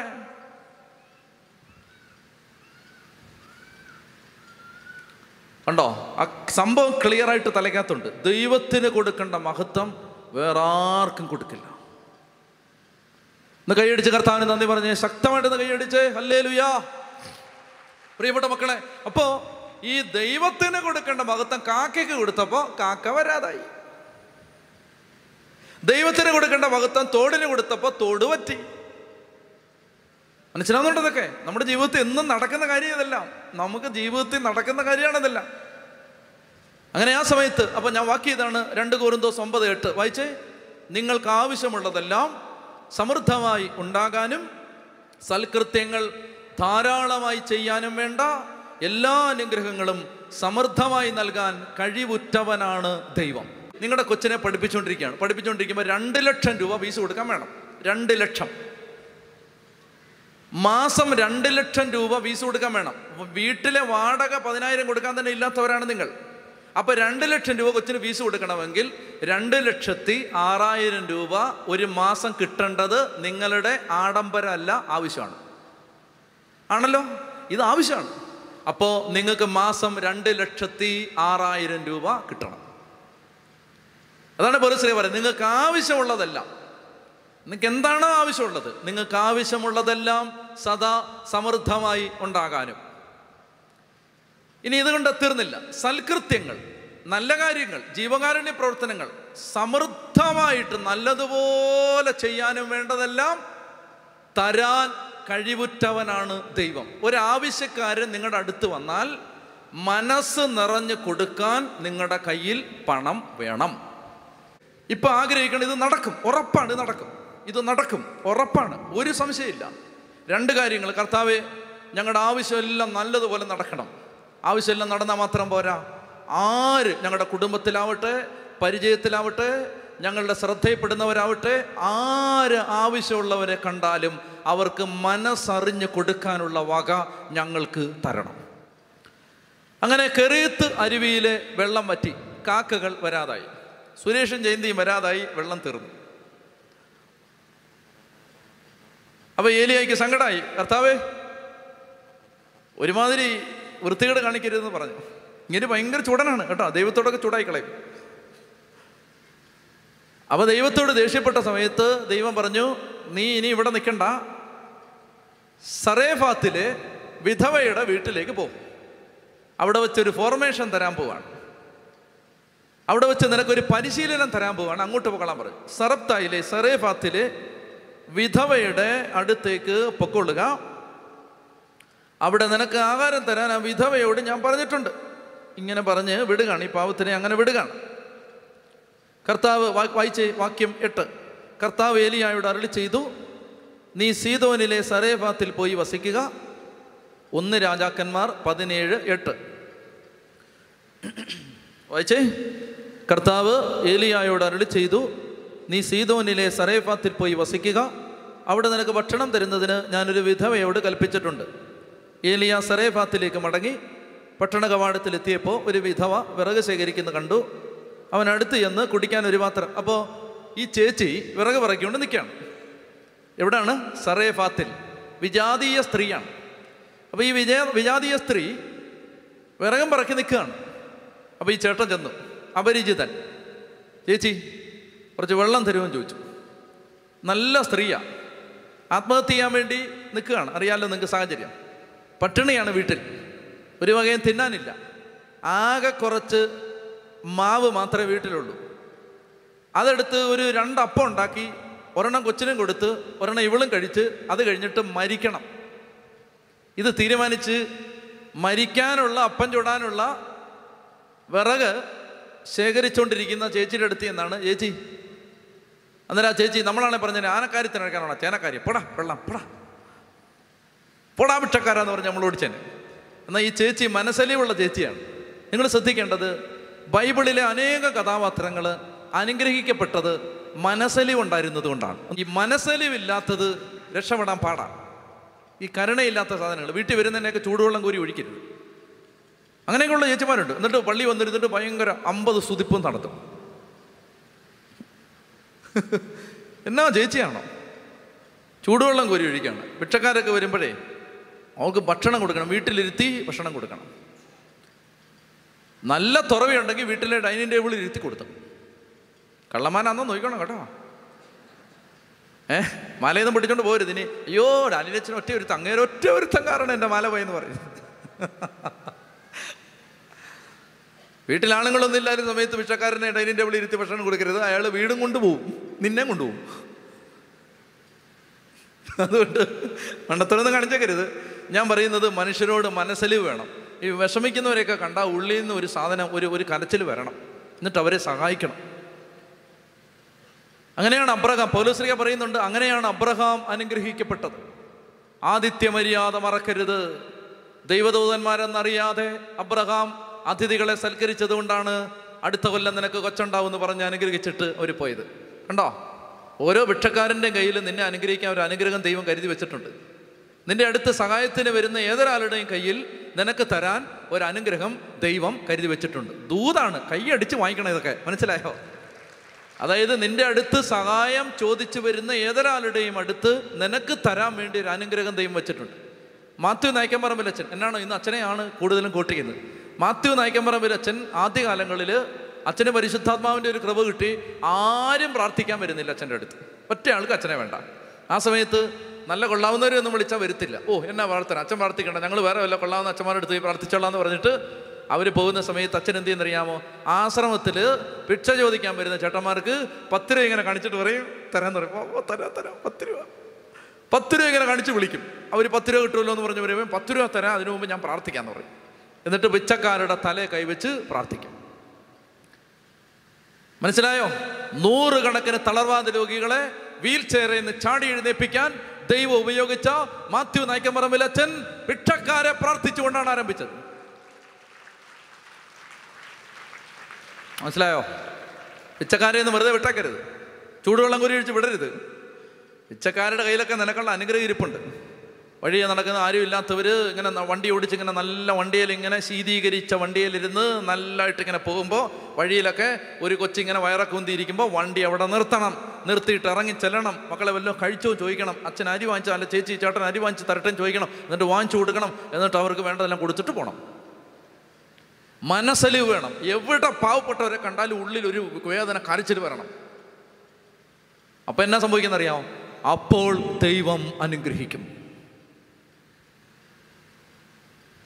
അപ്പോൾ ദൈവം അനുഗ്രഹിക്കും. അപ്പോൾ ദൈവം അനുഗ്രഹിക്കും. എന്റെ അപ്പനൊരു ഡ്രൈവറായിരുന്നു. ഡ്രൈവർ. എന്റെ അമ്മ പറഞ്ഞിട്ടുണ്ട് എന്റെ അടുത്ത് എന്റെ അപ്പൻ ഇങ്ങനെ വണ്ടി ഓടിച്ചു പോകുന്ന സമയത്ത് ആര് വഴി കടന്നാലും ഇറങ്ങി അവനെ സഹായിച്ച് കയ്യിലുള്ളതെല്ലാം കൊടുത്തിട്ട് പോകും. വീട്ടിൽ വരുമ്പോൾ ഒന്നും കാണത്തില്ല. വഴി കിടക്കുന്നവന് കൊടുത്തെന്നാണ് പറയുന്നത്. നിങ്ങൾ ആലോചിച്ച് നോക്ക്. എന്തെങ്കിലും ഒരു അനുഗ്രഹം കാലഘട്ടത്തിൽ എനിക്ക് കിട്ടിയിട്ടുണ്ടെങ്കിൽ വഴിയെ കടന്ന ഏതോ ഒരു ഭിക്ഷക്കാരൻ അനുഗ്രഹിച്ചാണ് നിന്നെ നിന്റെ തലമുറയും ദൈവം അനുഗ്രഹിക്കട്ടെ എന്ന് പറഞ്ഞാണ്. ദൈ അത് എന്റെ തലയ്ക്ക് വീണു. മനസ്സിലായോ? ആരോ അങ്ങനെ പറഞ്ഞായിരിക്കും. ആരോ പറഞ്ഞു കാണും വഴി കിടന്ന ആരോ പറഞ്ഞു കാണും ഉറപ്പാ. അപ്പൊ ഈ ചേച്ചി മരിക്കാൻ പോവാണ് മരിക്കാൻ പോവാണെങ്കിലും മനസ്സലിവുണ്ട്. അന്നാ ഒരു പതിനഞ്ച് മിനിറ്റ് കഴിഞ്ഞ് ചാവാന്ന് വിചാരിച്ചു. നിങ്ങളാണ് ചെയ്യുമോ അപ്പോൾ ഒരു ഇരുപത് മിനിറ്റ് കഴിഞ്ഞ് ചാവാം. ചാവാൻ നിൽക്കുകയാണ്. അപ്പോൾ ഈ ചേട്ടനെ ഇത്തിരി വെള്ളം എടുക്കാൻ വേണ്ടി പോകുമ്പോൾ ചേട്ടൻ എന്നെക്കാളും വലിയ പുള്ളിയാണ്. ചേച്ചി ഒരു കൂടെ കൊണ്ടുവരണേന്ന് പറഞ്ഞു. ചേച്ചി തിരിഞ്ഞങ്ങ് നിന്നു. എന്തോ? അപ്പം. ഒന്ന് ചേട്ടാ അപ്പം ഉണ്ടായിരുന്നെങ്കിൽ ഞാൻ ഈ വിറക് പറക്കാൻ വരത്തില്ലെന്ന് പറഞ്ഞു. എന്തിന്? ഈ വിറക് വിറക്കി അപ്പം ചുട്ട് തിന്നിട്ട് ചാവാനാടാ ഞങ്ങൾ ഈ വിറക് വിറക്കുന്നത് അപ്പോൾ പറഞ്ഞു ഇങ്ങനെ വന്നേ ഇങ്ങനെ വന്നേ. ഞാൻ പ്രവാചകനാണ് പ്രവാചകൻ. കണ്ടപ്പോഴേ എനിക്കൊരു ഡൗട്ട് അടിച്ചായിരുന്നു. ചേച്ചി വെള്ളം കൊണ്ടുവരുമ്പോൾ ചേച്ചി ആ മാവ് കലക്കി ദോശ ചുട്ട് ഒരു രണ്ടെണ്ണം ഇങ്ങ് കൊണ്ടുപോയി ആകെ രണ്ടെണ്ണേ ഉള്ളൂ പ്രവാചക. അത് കൊണ്ടുപോവാ ഞാൻ തിന്നിട്ട് നോം തിന്നിട്ട് നിന്നെ അനുഗ്രഹിക്കാം. ചെല്ലു ഭക്ഷണം കഴിച്ചാൽ ഭയങ്കരമായിട്ട് പ്രസാദിക്കും. അങ്ങനെയാണ്. അപ്പോൾ അവൻ ചേച്ചി നേരെ അങ്ങോട്ട് ചെന്ന് രണ്ടപ്പം ഉണ്ടാക്കി വേഗം കൊണ്ടുവന്ന് പ്രവാചകന് കൊടുത്തപ്പോൾ പ്രവാചകൻ പറഞ്ഞു നിന്റെ കലത്തിലെ മാവ് ഇനി തീരില്ല ഭരണിയിലെ എണ്ണ ഇനി വറ്റില്ല. കൊടുക്കുന്നവന്റെ ഭാണ്ഡം എന്നും നിറഞ്ഞു തന്നെ കിടക്കും. കൊടുക്കുന്നവന്റെ ബാങ്ക് അക്കൗണ്ടിൽ എന്നും കൊടുക്കാനുണ്ടാവും. എന്നും. അച്ചട്ടാണ് ഒരു വ്യത്യാസമില്ല ഒരു വ്യത്യാസമില്ല. കൊടുക്കുന്നവന്റെ അക്കൗണ്ടിൽ എന്നും ഉണ്ടാവും. സീറോ എന്ന് പറയുന്ന ഒരു സീറോ ബാലൻസ് എന്ന് പറയുന്ന ഒരു സംഭവമില്ല. എന്നും ഉണ്ടാവും. പതിനായിരം എടുത്ത് കൊടുത്താൽ പതിനായിരം എവിടുന്നോ ഒഴുകി ഇങ്ങനെ വരും. ഒന്ന് കൈയടിച്ച് കർത്താവിന് നന്ദി പറഞ്ഞേ. അല്ലേ ലുയാ മനസ്സറിഞ്ഞ് കൊടുക്കണം. മനസ്സറിഞ്ഞ് കൊടുക്കണം. എന്നുവച്ചതി പറഞ്ഞേ ഹല്ലേ ലുയാ എന്റെ ഒരു സുഹൃത്ത് ഒത്തിരി ഒരുപാട് പ്രതിസന്ധികളിലൂടെ എല്ലാം കടന്നുപോയി. നാട്ടിൽ പോലും പോകാൻ പറ്റാത്ത അവസ്ഥയെല്ലാം വന്ന് ഒത്തിരി വിഷമിച്ച് അങ്ങനെ ഒരു തരത്തിൽ ഒരു ഗൾഫ് രാജ്യത്ത് ചെന്നു. ഒരു ജോലിയൊക്കെ ഡ്രൈവർ ജോലിയാണ് ഡ്രൈവർ. ഡ്രൈവറായിട്ട് ഇങ്ങനെ ജീവിക്കുന്ന സമയത്ത്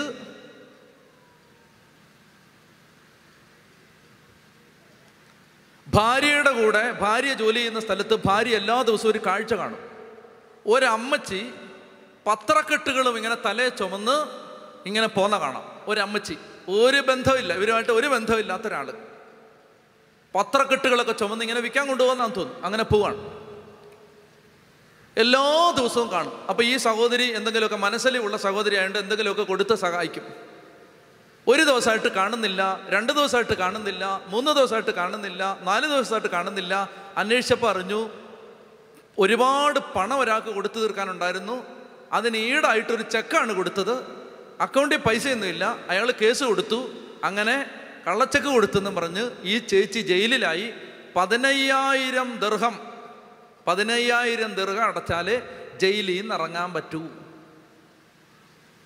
അപ്പൊ ഈ സഹോദരി വീട്ടിൽ ചെന്ന് ഭർത്താവിനോട് ഈ വിവരം പറഞ്ഞു.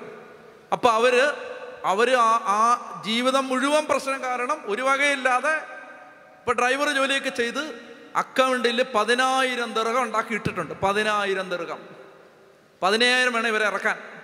പതിനയ്യായിരം വേണം ഇവരെ ഇറക്കാൻ. പതിനായിരം ഉണ്ട്. ബാക്കി കടം വാങ്ങിച്ചു. പതിനയ്യായിരം ആക്കി. ആരുമല്ലാത്ത സ്വന്തം അല്ലാത്ത ഒരു പരിചയമില്ലാത്ത ഈ സ്ത്രീക്ക് വേണ്ടി കെട്ടിവെച്ച് അവരെ ജയിലിൽ നിറക്കി ഇന്ന് ഞാനാ പറയുന്ന മനുഷ്യൻ പന്ത്രണ്ടിലധികം കമ്പനികൾ സ്വന്തമായിട്ടുള്ള രണ്ടായിരത്തിലേറെ തൊഴിലാളികൾക്ക് ശമ്പളം കൊടുക്കുന്ന മുതലാളിയാണ്. പോരെ. പോരെ. കൊടുക്കുന്നവന് കിട്ടിക്കൊണ്ടിരിക്കും.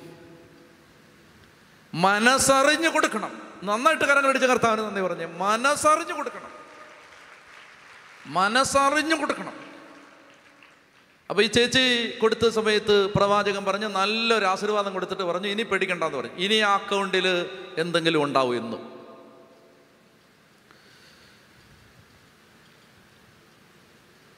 അങ്ങനെ പ്രവാചകൻ വഴി അരുളി ചെയ്യപ്പെട്ടതുപോലെ കലത്തിലെ മാവ് തീർന്നു പോയില്ല ഭരണിയിലെ എണ്ണ വറ്റിയില്ല. ഇനിയാണ് വലിയൊരു പ്രശ്നം ഉണ്ടാകാൻ പോവാണ്. ഒരു ദിവസം ആ വീട്ടിലെ അമ്മയുടെ മകൻ മരിച്ചു. മരിച്ചപ്പോൾ അയലോക്കക്കാരെല്ലാം കൂടെ പറഞ്ഞു ആവശ്യമില്ലാത്തവനെയൊക്കെ വിളിച്ച് വീട്ടിൽ കയറ്റിയോണ്ടാന്ന് പറഞ്ഞു. പ്രവാചകനെ വീട്ടിൽ താമസിപ്പിച്ചിരിക്കുകയാണ്. സെറപ്തായിലെ വിധവയാണ് ഇപ്പോൾ ഇയാൾക്ക് ആഹാരം കൊടുക്കുന്നത്. ദൈവം പറഞ്ഞു വിട്ടിട്ട് വന്നതാണ്. അപ്പൊ അയലോക്കക്കാരെല്ലാം കൂടെ പറഞ്ഞു എവിടുന്നോ വന്ന ഏതോ ഒരു ശാപം പിടിച്ചവൻ എന്താണ്ട് മാജിക്കൊക്കെ കാണിച്ചെന്ന് പറഞ്ഞുകൊണ്ട് അവനെ അവനെ വീട്ടിൽ കയറ്റി താമസിപ്പിച്ചുകൊണ്ട് നിന്റെ ഒച്ച മരിച്ചു പോയെന്ന് പറഞ്ഞു. അങ്ങനെ ആളുകൾ ആവശ്യമില്ലാത്ത കണക്ഷൻ ഉണ്ടാക്കും കേട്ടോ? ആവശ്യമില്ലാത്ത കണക്ഷൻ ഉണ്ടാക്കും. ഈ വീട്ടിൽ എന്തെങ്കിലും ദുരിതം ഉണ്ടായാൽ ആര് പറയുന്നൊന്നും കേൾക്കരുത്. ആവശ്യമില്ലാത്ത ദുരിതമൊക്കെ കണക്ഷൻ ഉണ്ടാക്കി പറഞ്ഞോളെ. അങ്ങനെ എന്നാ എന്നറിയാമോ? ഈ ചേച്ചി വന്നിട്ട് ഏലിയായിട്ട് ചോദിക്കുകയാണ് ദൈവപുരുഷ എന്തുകൊണ്ടാണ് അങ്ങനോട് ഇങ്ങനെ ചെയ്തത്? എന്റെ പാപങ്ങൾ അനുസ്മരിപ്പിക്കാനും എന്റെ മകനെ കൊല്ലാനുമാണോ നീ ഇവിടെ വന്നത്? ഏലിയായിക്ക് വലിയ വിഷമായി വലിയ വിഷമായി. ഏലിയ പറഞ്ഞു നിന്റെ കൊച്ചിനെ ഇങ്ങതാ ഏലിയ അവളെ അവളുടെ അടുത്തു നീ മകനെ എടുത്ത് മുകളിലത്തെ മുറിയിലേക്ക് കൊണ്ടുപോയി കട്ടിലെ കടത്തി എന്നിട്ട് അവൻ ഉച്ചത്തിൽ വിളിച്ച് പ്രാർത്ഥിച്ചു എന്റെ ദൈവമേ എനിക്ക് ഇടം തന്നവളാണ് ഈ വിധവ. അവളുടെ മകന്റെ ജീവൻ എടുത്തുകൊണ്ട് അവിടുന്ന് അവളെ പീഡിപ്പിക്കുകയാണോ? മൂന്ന് പ്രാവശ്യം ഈ മകന്റെ മേൽ കിടന്നുകൊണ്ട് ഏലിയ പറയുകയാണ് ദൈവമേ എന്റെ ദൈവമായ കർത്താവേ ഇവന്റെ ജീവൻ തിരിച്ചു കൊടുക്കണമേ. ഇനി എന്നെ കേൾക്കുക ഞാൻ വളരെ പ്ര- പ്രധാനപ്പെട്ട ഒരു കാര്യം നിങ്ങളോട് പറയുന്നു. വളരെ പ്രധാനപ്പെട്ടതാണ്. എന്തുകൊണ്ടാണ് ഏലിയ വന്നു കയറി ഈ വീട്ടിൽ ഇങ്ങനെ ഒരു ദുരന്തം ഉണ്ടായത്? എന്തുകൊണ്ടാണ് ഏലിയായുടെ ജീവിതത്തിൽ ഇപ്രകാരം ഒരു അനർത്ഥം ഉണ്ടാവാൻ ദൈവം അനുവദിച്ചത്? അതിനൊറ്റ ഉത്തരവേ ഉള്ളൂ. വലിയ വലിയ പരീക്ഷണങ്ങളിലൂടെ കടന്നുപോയി സത്യദൈവത്തിന്റെ ശക്തി തെളിയിക്കാൻ ദൈവം തെരഞ്ഞെടുത്ത പ്രവാചകനാണിത്. ഈ പ്രവാചകന് ദൈവത്തിന്റെ ശക്തിയിൽ വിശ്വാസം വളരുന്നതിന് അനവധി പരീക്ഷണഘട്ടങ്ങളിലൂടെ ഈ പ്രവാചകനെ ദൈവം കടത്തിവിടേണ്ടതുണ്ട്. ഞാൻ പറഞ്ഞെങ്കിൽ മനസ്സിലായോ? അതായത് ഇനി ഒരു രണ്ടധ്യായം കഴിയുമ്പോൾ കാർമൽമലയുടെ നെറുകയിൽ ഒരു രാജാവിനെയും ഒരു രാജ്യത്തെയും ഒരു രാജാവിനെയും ഒരു രാജ്ഞിയെയും നാനൂറ്റി അൻപത് ബാലിന്റെ പ്രവാചകന്മാരെയും അഷേരായുടെ അഞ്ഞൂറ് പ്രവാചകന്മാരെയും മൊത്തം തൊള്ളായിരത്തി അമ്പത് പ്രവാചകന്മാരെയും ഇസ്രായേലിലെ സർവജനത്തെയും കാർമൽമലയുടെ മുകളിൽ ദൈവത്തിന്റെ ബലിപീഠമുണ്ടാക്കി ആ മുകളിൽ മലമുകളിൽ വിളിച്ചു വരുത്തി ഒരു രാജാവിനെയും രാജ്യത്തെയും ചക്രവർത്തിയെയും രാജ്ഞിയെയും ഒറ്റയ്ക്ക് വെല്ലുവിളിച്ച് ദൈവത്തിന്റെ ശക്തി തെളിയിക്കാൻ ബാധ്യത കിട്ടിയ തലവര കിട്ടിയ പ്രവാചകനാണ്. വിളിക്കുമ്പോൾ ദൈവം ഇറങ്ങി വരുമെന്ന് അവൻ അറിയണമെങ്കിൽ അവന് പരീക്ഷണങ്ങളിലൂടെ കടന്നുപോയി അവന്റെ വിശ്വാസം ഉറക്കേണ്ടതുണ്ട്. മനസ്സിലായോ? അതുകൊണ്ടാണ് ഇപ്പോൾ ഈ ക്രൈസിസ്. ഇപ്പൊ എന്തിനാണ് ഈ ക്രൈസിസ് എന്ന് ചോദിക്കരുത്? ഈ ക്രൈസിസ് ഉണ്ടെങ്കിൽ അടുത്ത അത്ഭുതത്തിന് നീ ഒരുക്കപ്പെടൂ. മനസ്സിലാവുന്നോ? അടുത്തൊരു അത്ഭുതത്തിന് നീ ഒരുങ്ങണമെങ്കിൽ ഇപ്പൊ ഈ ചെറിയ പരീക്ഷ നീ ജയിച്ചേ പറ്റൂ. അതുകൊണ്ടാണിത്. അപ്പൊ ഈ കൊച്ചു മരിച്ചപ്പോ പഴയ നിയമത്തിൽ ആദ്യമായിട്ടാണ് ഒരു പ്രവാചകൻ മരിച്ചവനെ ഉയർപ്പിക്കുന്നത്. ആദ്യമായിട്ട്. ഫസ്റ്റ് ടൈം ഇതിനു മുമ്പ് ആരും മരിച്ചവരെ ഉയർപ്പിച്ചിട്ടില്ല പഴയ നിയമത്തിൽ ആദ്യമായി ഇസ്രായേലിന്റെ ചരിത്രത്തിൽ ആദ്യമായിട്ട് ഒരു പ്രവാചകൻ മരിച്ചവനെ ഉയർപ്പിക്കണം. അതിന് ഈ പ്രവാചകൻ സന്നദ്ധനാവണമെങ്കിൽ ഇവനെ ഒരു ക്രൈസിസിലൂടെ കടത്തിവിടണം. ആ ക്രൈസിസ് ആണ് ഇവന്റെ വിശ്വാസം വർദ്ധിപ്പിക്കാൻ പോകുന്നത്. അതുകൊണ്ട് പ്രശ്നങ്ങൾ പ്രയാസങ്ങൾ പ്രതിസന്ധികൾ വേദനകൾ ജീവിതത്തിൽ വരുമ്പോൾ ഉടനെ എന്തിനാണ് ഈ പ്രശ്നം തന്നത്? എന്തിനാണ് എന്നെ അങ്ങനെ ചിന്തിക്കരുത്? ഈ പ്രയാസം ഉണ്ടെങ്കിൽ നിന്റെ മേൽ ഒരു അഭിഷേകം ഇറങ്ങൂ. ഇല്ലാതെ നിന്റെ കുടുംബത്തിൽ ഒരു ദൈവ സാന്നിധ്യം വരില്ല. അതുകൊണ്ടാണ്. അപ്പൊ അതുകൊണ്ട് ഈ കൊച്ചിനെ എടുത്ത് മേളിൽ കൊണ്ടുപോയി കിടത്തിയിട്ട് കൊച്ചിന്റെ മേൽ പലതവണ കിടന്നു. ഒരു തവണ കിടന്നപ്പോഴൊന്നും കൊച്ചു എഴുന്നേറ്റില്ല. രണ്ട് തവണ കിടന്നപ്പോൾ എഴുന്നേറ്റില്ല. പ്രാർത്ഥിച്ച എഴുത മൂന്ന് തവണ കർത്താവേ കർത്താവേ ഇന്ന് സഹായിക്കണേ കർത്താവേ. അയ്യോ ആരുമില്ല കർത്താവേ. ഞാൻ തന്നെയാണ് കർത്താവേ. ഇവരെല്ലാം എന്നെ കല്ലെറിഞ്ഞ് കൊല്ലും കർത്താവേ. പാവപ്പെട്ട ചേച്ചി എനിക്ക് ഭക്ഷണം തന്നല്ല കർത്താവേ. ഒന്ന് ഇറങ്ങി വാ കർത്താവേ ഒന്ന് ഇറങ്ങി വാ കർത്താവേ ഒന്ന് ഇറങ്ങി വാ കർത്താവേ. ഒന്ന് സഹായിക്കേണ്ട കർത്താവേ എന്ന് പറയുമ്പോൾ ചാടിയും എഴുന്നേറ്റു. ഒച്ച ചാടിയും എഴുന്നേറ്റു. അപ്പൊ ഏലിയായിക്ക് മനസ്സിലായി എന്റെ ദൈവം എനിക്ക് ഭക്ഷണം തരിക മാത്രമല്ല എനിക്ക് വെള്ളം തരിക മാത്രമല്ല എനിക്കൊരു വീട്ടിൽ നിന്ന് ആഹാരം ഉണ്ടാക്കി തരിക മാത്രമല്ല എനിക്ക് താമസിക്കാൻ ഒരു വീട് തരിക മാത്രമല്ല മരിച്ചു കിടക്കുന്നവനെ ഉയർപ്പിക്കാൻ ഇറങ്ങി വരുന്ന ദൈവമാണ് എന്റെ ദൈവമെന്ന് ഏലിയായിക്ക് മനസ്സിലായി.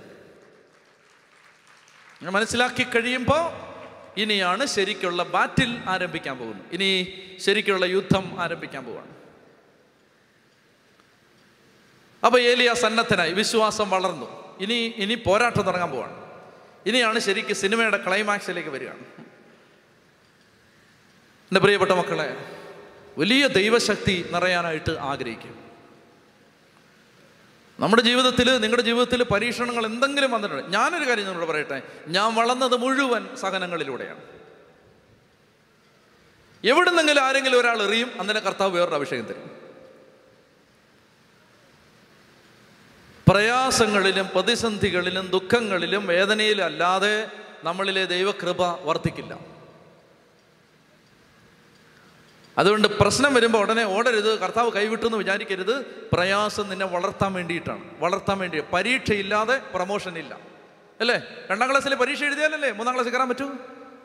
പരീക്ഷ വേണ്ട പരീക്ഷ വേണ്ട. പോടാ സാറേ പോടാ. അങ്ങനെയൊക്കെ മുദ്രാവാക്യം വിളിച്ചിട്ട് കാര്യമുണ്ടോ?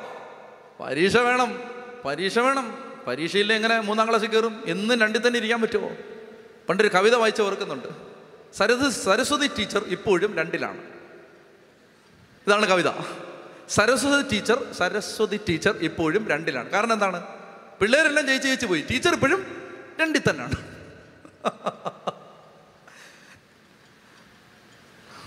ഏതോ ഗുരുത്വമില്ലാത്ത പിള്ളേർ എഴുതിയ കവിതയാണ്. സരസ്വതി ടീച്ചർ ഇപ്പോഴും രണ്ടിലാണ്. പതിനഞ്ച് കൊല്ലം കഴിഞ്ഞു. ടീച്ചർ ഇപ്പോഴും രണ്ടിലാണ്. ഞങ്ങളെല്ലാം ജയിച്ച് കോളേജിലായി. ടീച്ചർ ഇപ്പോഴും രണ്ടിലാണ്. അങ്ങനെ ഇരുന്നാൽ മതിയോ? ടീച്ചറെ രണ്ടിൽ തന്നെ ഇരുന്നാൽ മതിയോ? പോരാ മൂന്നിലേക്ക് കയറണം മൂന്നിലേക്ക് കയറണമെങ്കിൽ ടീച്ചർ പരീക്ഷ എഴുതണം പരീക്ഷ. പരീക്ഷ എഴുതാതെ മൂന്നിൽ കയറാൻ പറ്റില്ല. മൂന്നിൽ നിന്ന് നാലിൽ കയറണമെങ്കിൽ ടീച്ചർ പരീക്ഷ എഴുതണം. അഞ്ചിലോട്ട് കയറണമെങ്കിൽ പരീക്ഷ എഴുതണം.